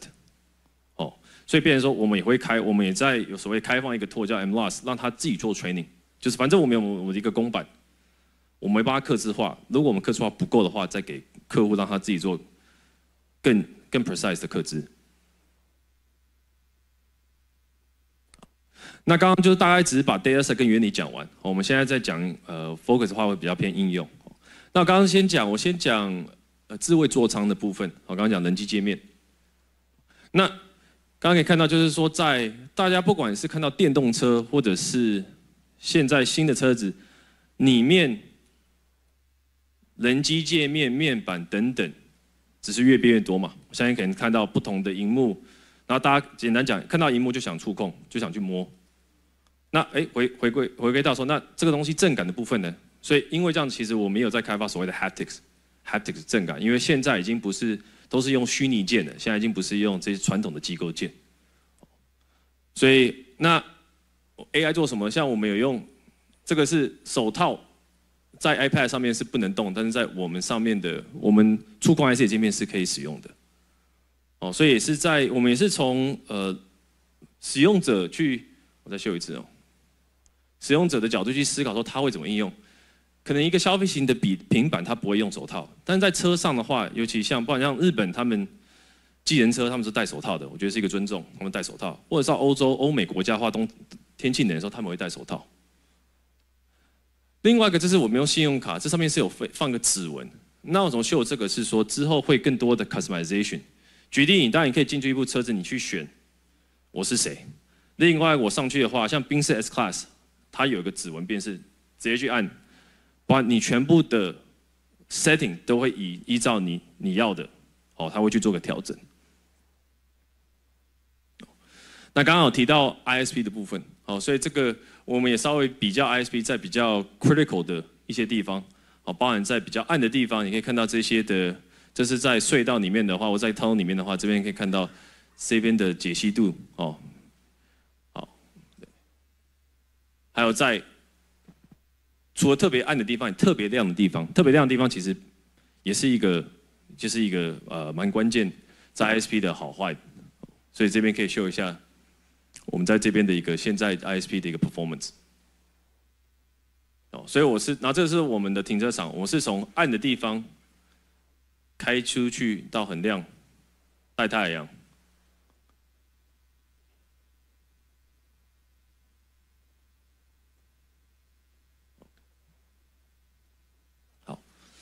那在 ADAS 的部分的话，呃，这边我只也简单跟各位报告，我把我们一些现在做的一些 function 的部分，这边就简单的呃列一下吼。那包含前 camera 跟后 camera。那我们再稍微看一下。那这个的话是我们叫一个所谓 define，我们叫 inline net。inline net 就是我们现在在做这一些的，呃，算组组合型的演算法。哦，那可以看到我们同时间的话，我是秀我们同时间做三件事情。第一个是 object detection 嘛，哦，辨识这一些，照汽车、机车等等的卡车。第二个是我会去 partition 说哪一些区域是可以开的。哦，像我可以看到这个。这个高这个高速公路上的话，就这蓝色的区域被框起来，我是可以开的地方。然后下一步的话，我们会再做就所谓的 segmentation，再分 driving 的那些每一个 lane 再分别出来。所以这同时间都是在我们所谓的 local，哦，这些东西都不是透过传输到云端去做更复杂的哦 processing，就是直接在 local 的 edge computing 就可以做到。然后这个是我们在前面前 camera 的部分的一些，呃，可能这些大家都蛮熟悉的了哈，那我就不赘述的一些 feature。那后面 camera 的部分可以看到，哦，尤其像我们这边的话，可以看到我们都是基本上鱼眼，因为什么鱼眼？因为最怕就是倒车的时候有行人这样走过来就会撞到，哦，或者车子立刻开过来，那。我们这边特别 highlight 就是我们是 local 的 edge computing 就 ETOPS 哦，那毕竟我们刚刚提的提提到了，我们现在不是这不是 ECU，所以我们也是 focus 在说在 low computing 的部分就可以做到 local 的 edge AI。那其实这个是混着在你可以说智慧座商也 ADAS 啊，应该算智慧座商。那大家可能知道我们有做刚刚提到指纹辨识，就是生物辨识的一种。另外一个我们也有做人脸辨识，啊，但生物辨识、人脸辨识、指纹辨识。另下一个的话，其实我们有做所谓 DMS。好，那 DMS 的话可以秀一下，就是主要是做这些的 functionality。好，那呃，我最关键的其实是可以看到，我刚刚讲，这全部都是在 edge computing。那我们可以基本上这一些你要增加更多的 scenario，那我们就是会去 collect 更多的 data set 去做 training。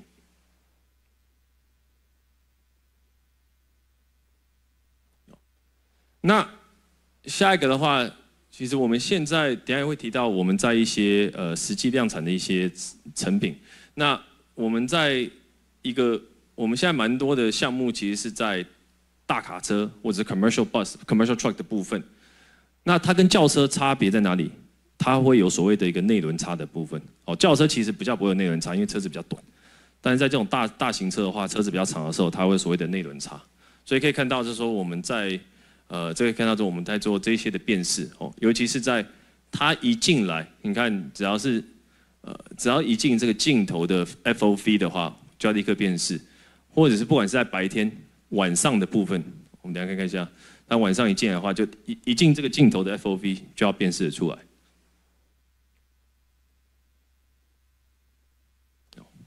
那刚刚我刚我们刚刚提的大部分都是在所谓的 L 零或 L one，就是。还没有到控制哦，就算是辨识而已。那现在我们还在开发的哦，应该是最近慢慢等下就秀，我们已经有在上路，有在 trial run 的，就是所谓的 L2、L2 或者是 L2 Plus，那就是拿 sensor fusion，大家可能非常熟悉的 sensor fusion，camera 跟 radar 做个 sensor fusion 来控制哦 steering wheel 哦，然后还有油门的部分，还有刹车的部分。那这也是我们现在主要的一些。呃，key 的一些 Function 那里。那我们也会去拿所谓的，可以看到这个影片里面的话，除了影像的话，我们也有拿 lidar 拿光打，所以我会拿 radar 加 camera 变成 sensor fusion，然后会去做 lidar 跟 lidar 去做一个 benchmarking，确保我们 solution 是至少哦。有些地方是超越或至少接近 LiDAR 的一个 performance。那最后个 section，我会用两页跟大家提一下大巴的部分。哦，因为呃，的确在这几年的话，呃，我们看到政府在整个电动巴的部分有做一个呃比较大的动作。好，它是五年的一个一些补贴。哦，那刚我这边就只是简单讲补贴的一些金呃金额的部分呐，然后它要求的一些。相关 ADAS 一些技术，那这样的话可以看到，我们其实在这块，我们呃也跟呃台湾几个比较领先的大巴方的合作的非常密切。那我这边也秀一个影片，哦，这个就是在 LK 的部分。所以刚刚提到就是在 L2 control 控制的部分，现在已经我们在就做 pilot run 的部分，然后陆陆续续就会准备量产。好，那就回到刚刚做个总结。哦，基本上我们还是可以看到的，今天翼龙电子不是只是所谓的开发的 IC，我们是一个 solution provider，包含从硬体的部分。软体的部分，还有 dataset 演算法的部分。那我们的 focus 还是回到座舱的部分，就是人机界面，另外就是 ADAS 相关的。好，谢谢各位。谢谢叶龙电 Joe 为我们带来精彩分享。而今天的最后一场压轴演讲，我们邀请到的是资策会洪春辉产业情报研究所所长。来与我们分享全球电动车市场发展与半导体关键议题。我们掌声欢迎洪所长。好，呃，各位产业界的先进，各位朋友，好，大家呃午安，下午好。那我想非常荣幸啊，有这样的一个机会啊，那特别谢谢主办单位哈，那让我。呃，去年来讲一次哈，那今年呢继续来 update 哈，那我们对这个啊市场对这个产业的一些观察啊，那么。呃，我想呃，今天我们特别呃非常高兴啊，其实前面已经听到许多的讲者，那对整个呃汽车电子，我想特别理事长一开始就提到哈，那汽车电子特别是智慧化、电动化啊这样子一个趋势，其实带来了对半导体产业有非常大的新的契机啊。那我们确实呃也看到这样子的一个现象，所以我想我们今天大概会从几个面向哈，那特别我想我很简单的三个重点哈。第一个，我们确实看到汽车的市场因为电动化、因为智慧化带来了量的改变。好，那我们待会一开始会跟各位说明一下我们现在看到的市场的情况，特别是汽车、电动车还有智慧车这样子的一个市场的一个变化。那同时，其实它不但带来了量的改变，也带来了值的改变呢。那特别是我们看到的车子啊。其实越来越不一样，包括像刚刚啊，我想翼龙店也让我们看见哈，那个车子里面的内涵，好，那这里面呃，包括前面几位讲者都提提呃都提到哈，那个车子越来越不一样。那刚刚呃黄理事长也提到那个呃车子里面这些 AI 这些智慧化的这些含量，其实都已经跟过去不同。那更重要的事情啊，我想我们是一个产业研究机构哈，所以我们更多的我们看见的事情是，这个市场竞争啊，产业竞争的局势啊，也在改变啊。那我们看到的是，过去台湾在这个呃汽车相关的领域啊，那这个扮演的角色，在未来。也会开始有越来越多的变化，所以我想我从这三个角度啊，来跟各位做进一步的说明啊。所以首先我们可以看一下全球的。呃，车子的市场的变化哈，那我想在呃这个部分是我们的团队啊，我们的同仁搜集了最近这个汽车市场的一个数字啊。那我想这个数字呃也不意外，刚刚包括前面几位讲者也都提到，甚至是我想呃在 Semicon 期间哈，那你在其他的论坛，我相信也都会看到这样的一个数字啊，也就是在呃过去 COVID 的这个 Pandemic 的期间呢，那么大部分那个呃整个供应链是陷入一片混乱，好，那我们大概在呃去年的上半年。啊，前年哈，大家都还在讨论缺货啊、缺料啊，哈，那这一些的问题。但是到现在呢，呃，当然那段时间这些缺货、缺料的问题也冲击了我们看到的汽车的市场。各位可以看到，不管是疫情的影响、缺料的影响，二零二零到二零二二年，好，那特别在二零二零年，整体全球汽车市场剩下七千多万台，但是到现在慢慢回升到八千多万台。那我刚刚前面的讲者也提到，哈，在未来有机会哈。会慢慢回到九千多到一亿台的水准啊，这是我们现在看到第一个，我们看到这个汽车市场的量，那逐渐的在回复啊。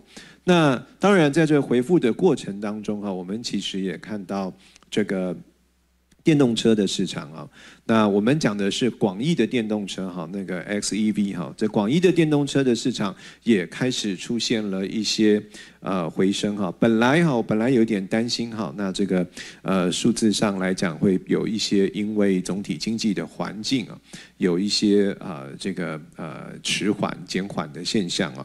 不过我们呃团队啊也把正面因素、负面因素也都罗列出来，各位可以看见。那么，其实对于电动车的市场来说，其实政策上面的驱动仍然带有很大的一个助力啊。那我想，呃，刚刚 William 也也做过调查了嘛，哈。那大家现在到底呃多少人开电动车？毫无疑问啊，各位那个。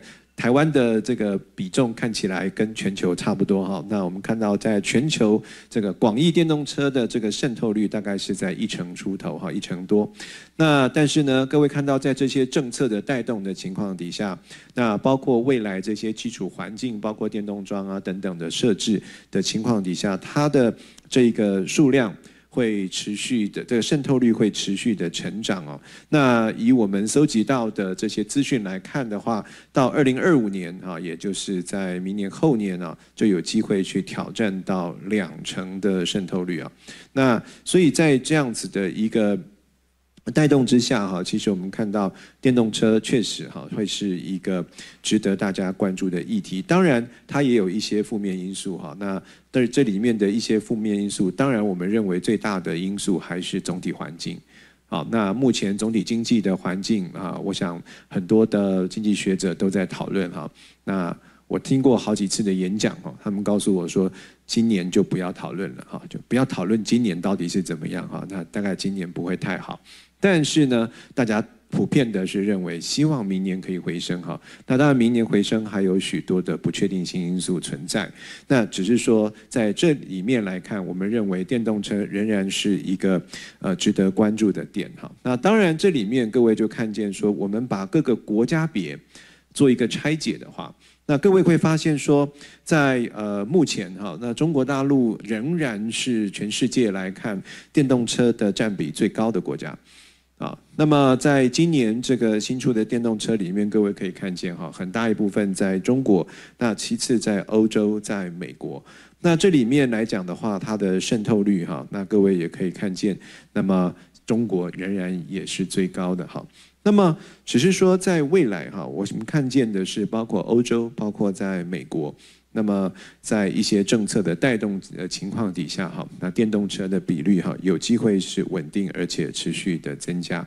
那这里面当然，我想这个是给各位做参考。那目前来看，我想在我们前面所提到哈，在全球电动车的一个占比哈，以数字上来看，大概是呃十四到十五个 percent 这样子的一个渗透率。那这里面我们的团队也整理了一下。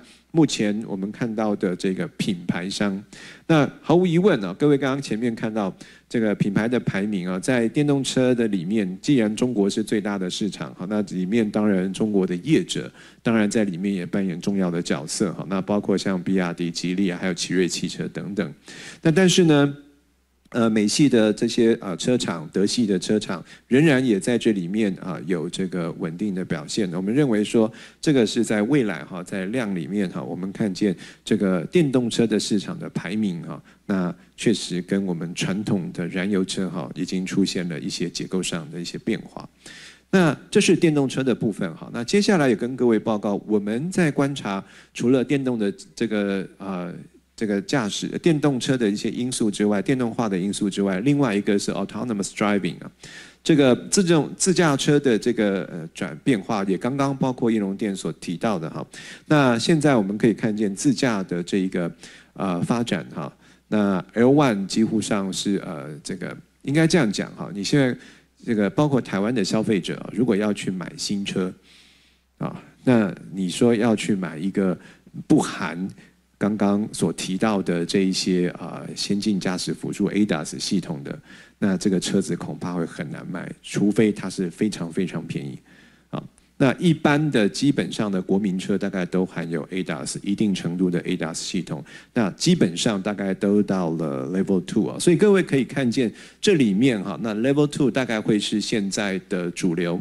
啊，而且呢，这个比重、这个成长的速度，包括我们看到的 K 杠哈，这个年复合成长率，都在啊相当高的一个水准呢。那比较有趣的事情是，其实我们在过去一直在讨论，那 Level Three 呢？那 Level One 到 Level Two 其实一段一段时间了哈。我自己在呃疫情前买了一台这个这个 T 公司的车子哈。那这个那上面其实就有 Level Two 了。那其实要问大家的问题是：现在你在路面上看到市面上的新车，基本上都有 Level Two or Level Two Plus，但怎么没有 Level Three 呢？那而且我们看到很多的讲法是，它会从 Level Three 直接到 Level Four。好，为什么没有没有 Level Three？哈，其实一个很简单的原因哈，这里面太复杂了。原因是因为到 Level Three 的时候，要到底是车厂要负多少的责任？啊，这里面的自驾程度到这个时候呢，那哪些责任是车厂要负的？哪些责任是啊驾驶者要负的？这里面非常不容易理清。啊，在这些呃，其实。我们听过很多的业者告诉我们，这个技术上来说，Level Three 其实已经是可以做到。那我们也看到有车厂推出 Level Three 的车型，但是实在上是不多。好，那但是我们在这边，我们对啊整个自驾的进程其实是不悲观的哈。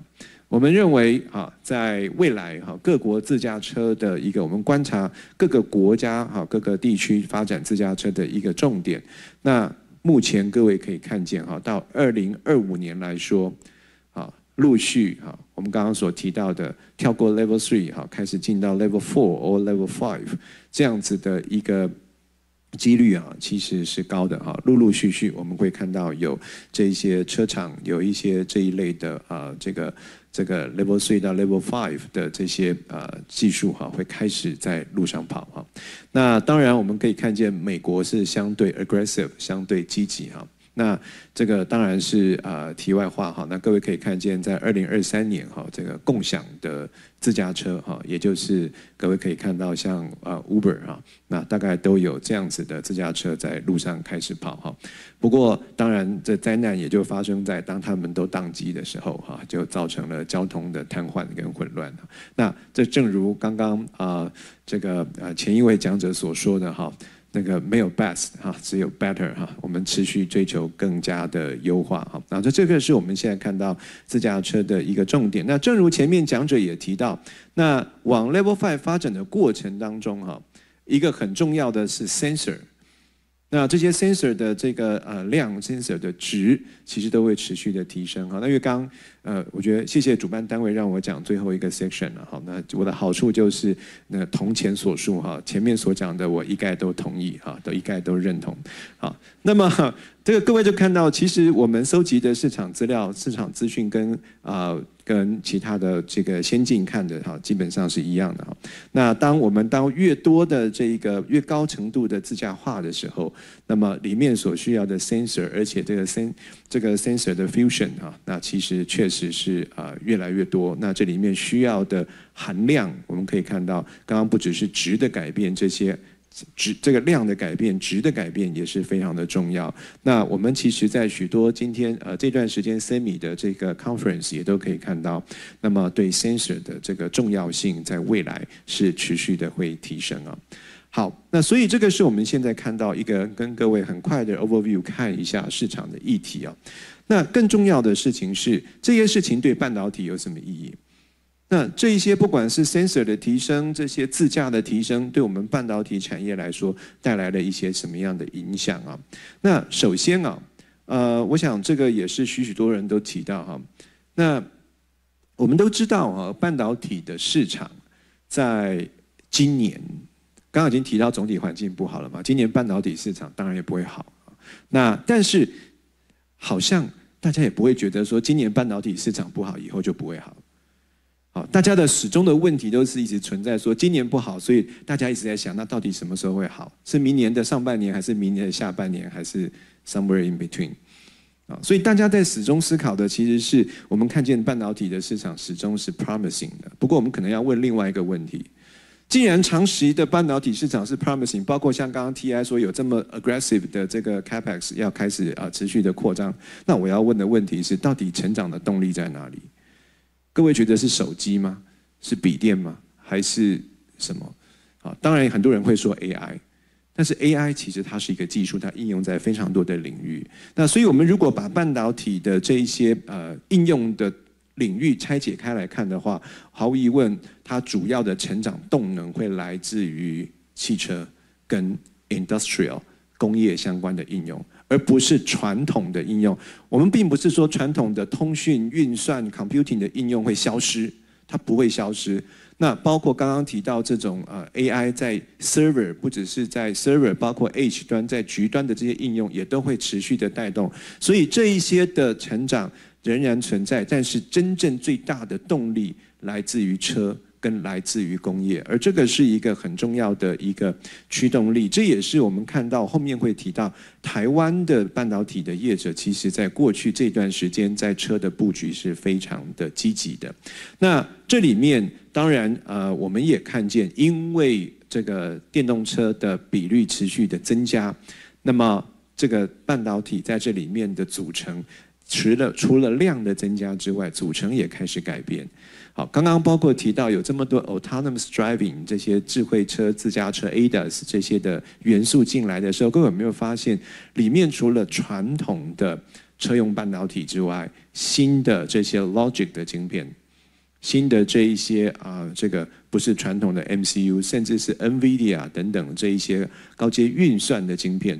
其实也陆陆续续开始在这个车的领域可以看见，也就是我如果我们看右半边的这一个图，在新兴的这个整车厂里面，它所运用到的晶片，如果我们以制成别来看的话，新进制成这个所占的比重，其实已经有相当大的比例，有许多的先进制程开始。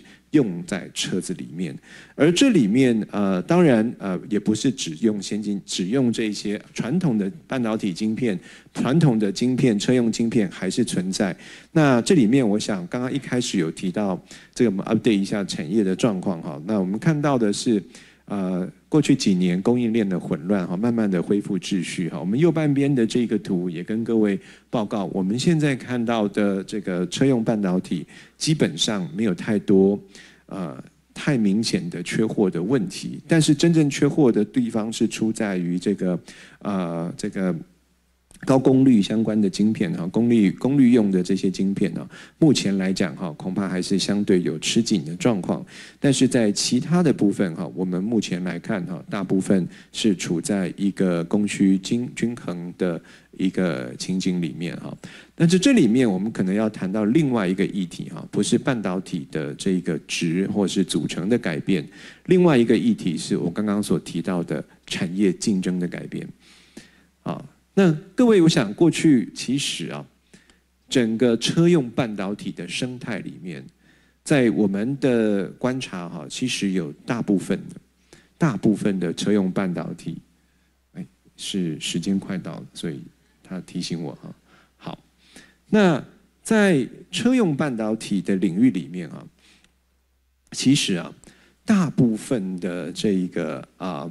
过去啊，传统的车厂大部分是偏左半边，也就是我们这些 IDM 大厂啊，包括有一些是我们今天的朋友啊的的讲者的公司，我们可以看见，其实在过去的这个时候，其实我这样讲好了，在过去我们呃，我跟我的团队大概是十五年前吧，开始投入半导体的研究，啊，车车子汽车领域的研究，那时候还叫 Telematics。当我们在做那个时候的研究，其实我们发现一个现象啊，就是非原本车用供应链的业者，包括当时想进去的 ICT 业者，非常难进入。那碰到的状况就是常常不得其门而入，我而入。我就问过其中一个业者，问他说：“哎，你怎么你怎么联络到那个车厂？你猜他们是怎么联络车厂的？打电话到车厂的总机去。”再由总机进行转接，那我说你最后找到他们了吗？他说没有，转了老半天电话就不见了。各位可以知道，汽车产业是一个过去是一个非常封闭的供应链，因为它强调的是安全，而强调的安全的供应链里面，它不会轻易的去换供应商，包括半导体相关的供应商。好，所以今天我们可以看见，大概还有七八十 percent 左右的这些半导体车用半导体，其实是落在 IDM 业者的手上。但是右半边这些新的业者陆陆续续出来，包括因为做了 AI，因为需要有更大的 computing power，有更多的 memory，那这里面有新的业者开始陆陆续续的加入，而这里面其实也改变了，因为电动化、智慧化，改变了现在产业的形貌。怎么说呢？因为啊，各位可以看到，中国大陆为什么现在起来的那么快，电动车起来的那么快？因为他不把车子当车子的产业在经营，他的车子很多人在一直在 argue 说，未来的电动车、智慧车会更像是一个手机装了四个轮子在地上跑。那就算这个事情没有发生。因为车子，大家还是在乎生命安全。可是呢，这个时候在汽车的研发、汽车的制造，包括他们在应用半导体的这个速度，其实是加快的。他们跟前面的这一些啊半导体业者合作研发的速度，其实是加快的。因为半导体这些。啊，这些先进制程的帮助，或是这些 IC 设计业者的帮助，其实他们更多的去 engage 了这一些半导体的厂商，去加速他们的研发速度。所以在这里面，我们看到一个非常明显的呃这个产业生态的改变。这页给各位参考，其实讲白话就是一句：整车厂更积极的在跟半导体业者进行直接的合作。无论是之前缺货的因素，后是或是未来为了加快 ADAS 这些智慧车的这个发展，或是加快电动车的发展，其实我们的半导体的制造厂、设计公司在整个汽车供应链的地位越来越重要。我们看到的是车厂越来越重视。我个人亲身体验啊，就是在疫情期间，竟然有日本的车厂，这我在很多地方讲过，岳阳请我跟他们谈谈什么。谈台湾的半导体产业供应链，所以各位可以发现，这个国际上的这些车厂对台湾的这个半导体，对其实不止台湾，对世界的半导体的业者的重视程度是越来越高啊！而且呢，各位可以看见，他们为了加快他们的研发的速度，其实很多时候不是在硬体上去做改变，很多时候是在软体上。很多各位可以看见，嗯。我不知道各位有多少人骑 GoGoRo 哈？那刚刚是问有没有人开电动车？我骑 GoGoRo 哈。那各位知道 GoGoRo 其实它的这个产这个里面很多功能的更新提升是透过 Over the Air 透过软体方式的更新。当然我们都知道 Tesla 是这样子，在未来会有越来越多的车子用这样子的方式进行，甚至走到为右边。他把这些 data 演算法、算力这些事情都已经预先的放在车子里面，可以随时做更新。那这个时候呢，其实我们观察到某些车厂未来的规划是想要把一些算力更多的、更更大的算力是预先放在车子里面。那这有什么好处呢？也许他现在是需需要用到的只有两个 TOPS，但是呢？在它的算力里面，它预先放了十，或是放了二十。将来在它更新的时候，不管是在算法上、数据上做更新，在软体上做更新的时候，它就有更新的空间。所以这是一个我们看见这个形态上的改变。而更重要的事情是，竞争也改变了。在未来的这个领域里面，我们发现哈，那么除了传统的这些半导体的供应商之外，我们看见新的原本包括像翼龙电过去是在做 PC 相关的领域或消费性电子领域的这样子的 IC 的业者，其实也都进来参与在半导体相啊在汽车相关的领域，无论是电动车或是智慧车。那当然，我们这边列举出来的是国际上的一些大厂，一些 ICT 的半导体的大厂，其实正积极的进来，而他们进来的角度是什么？他们有算力，他们有好的这一个生态系的资源，有好的整体的解决方案。那但是呢，呃，原来的车用半导体的领导厂商，其实也仍然的从我们看到的左上方的象限向右向右边来移动。那这个移动的原因哈，我们可以看见，它过去其实在这供应链里面，但是现在呢，开始透过感测器，透过其他的方式去突破这一些算力的天花板，也要抢攻智慧车这一块的领域。所以这二者其实呢，从不同的角度，一个拥有高运算力。高的生态系的资源，另一个部分传统的这些车用半导体厂商呢，则是他们在对整个车规、对整个车的环境、对整个车的供应链的了解，那么他们有这样子的一个优势啊。那这也是为什么我们现在看到台湾的半导体厂商，无论是 IC 设计。或是晶圆代工、封装与测试，甚至是次系统整体解决方案厂商，其实都很积极的进到这个供应链里面。我想这边是给各位做参考哈。那如果呃我们有漏了你们公司的名字没有放在那边的话，请会后找我们的同事哈，我们一定会尽快把它加上去哈。但我们的重点是，其实台湾其实正如 Echo 刚刚啊龚主委所提的，台湾 can help。那么，在这么重要的一个产业领域里面，不管是从韧性的供应链体系，不管是从技术的研发、产品的发展，甚至呢是让整个这个呃汽车的体系更健全，在路上跑的汽车更安全、更舒适，有更多新兴的应用，我们认为台湾在这里面其实是具有高度的啊。准备程度可以跟各位业者、跟各国的业者一起来合作，所以我想很快的在 conclusion 给各位做参考。但事实上，总归一句话，我们认为在这个 Semicon 这么重要的展会期间，我想我们把目前整体的趋势跟台湾业者的状况，跟各位做一进一次进一步的 update。那期待。那我们在未来看到更多台湾业者在这个里面有啊，跟全球的这些供应链的伙伴，大家有更好的合作。以上是我的分享，谢谢大家。谢谢谢谢洪所长为我们带来这么深度的分析。那么，诚如今天所有讲者所提到，智慧车的发展有赖产官学研各位先进一同努力。而本次的论坛也在此告一段落，让我们再次感谢今天所有贵宾讲师的精彩分享，相信让大家都获益良多。也感谢各位今天拨冗前来参加论坛。若您对于主办单位以及本日的演讲主题有兴趣进一步了解，也欢迎您稍后扫描 Q R code 获得更多资讯。未来有更多机会与我们携手共进，谢谢。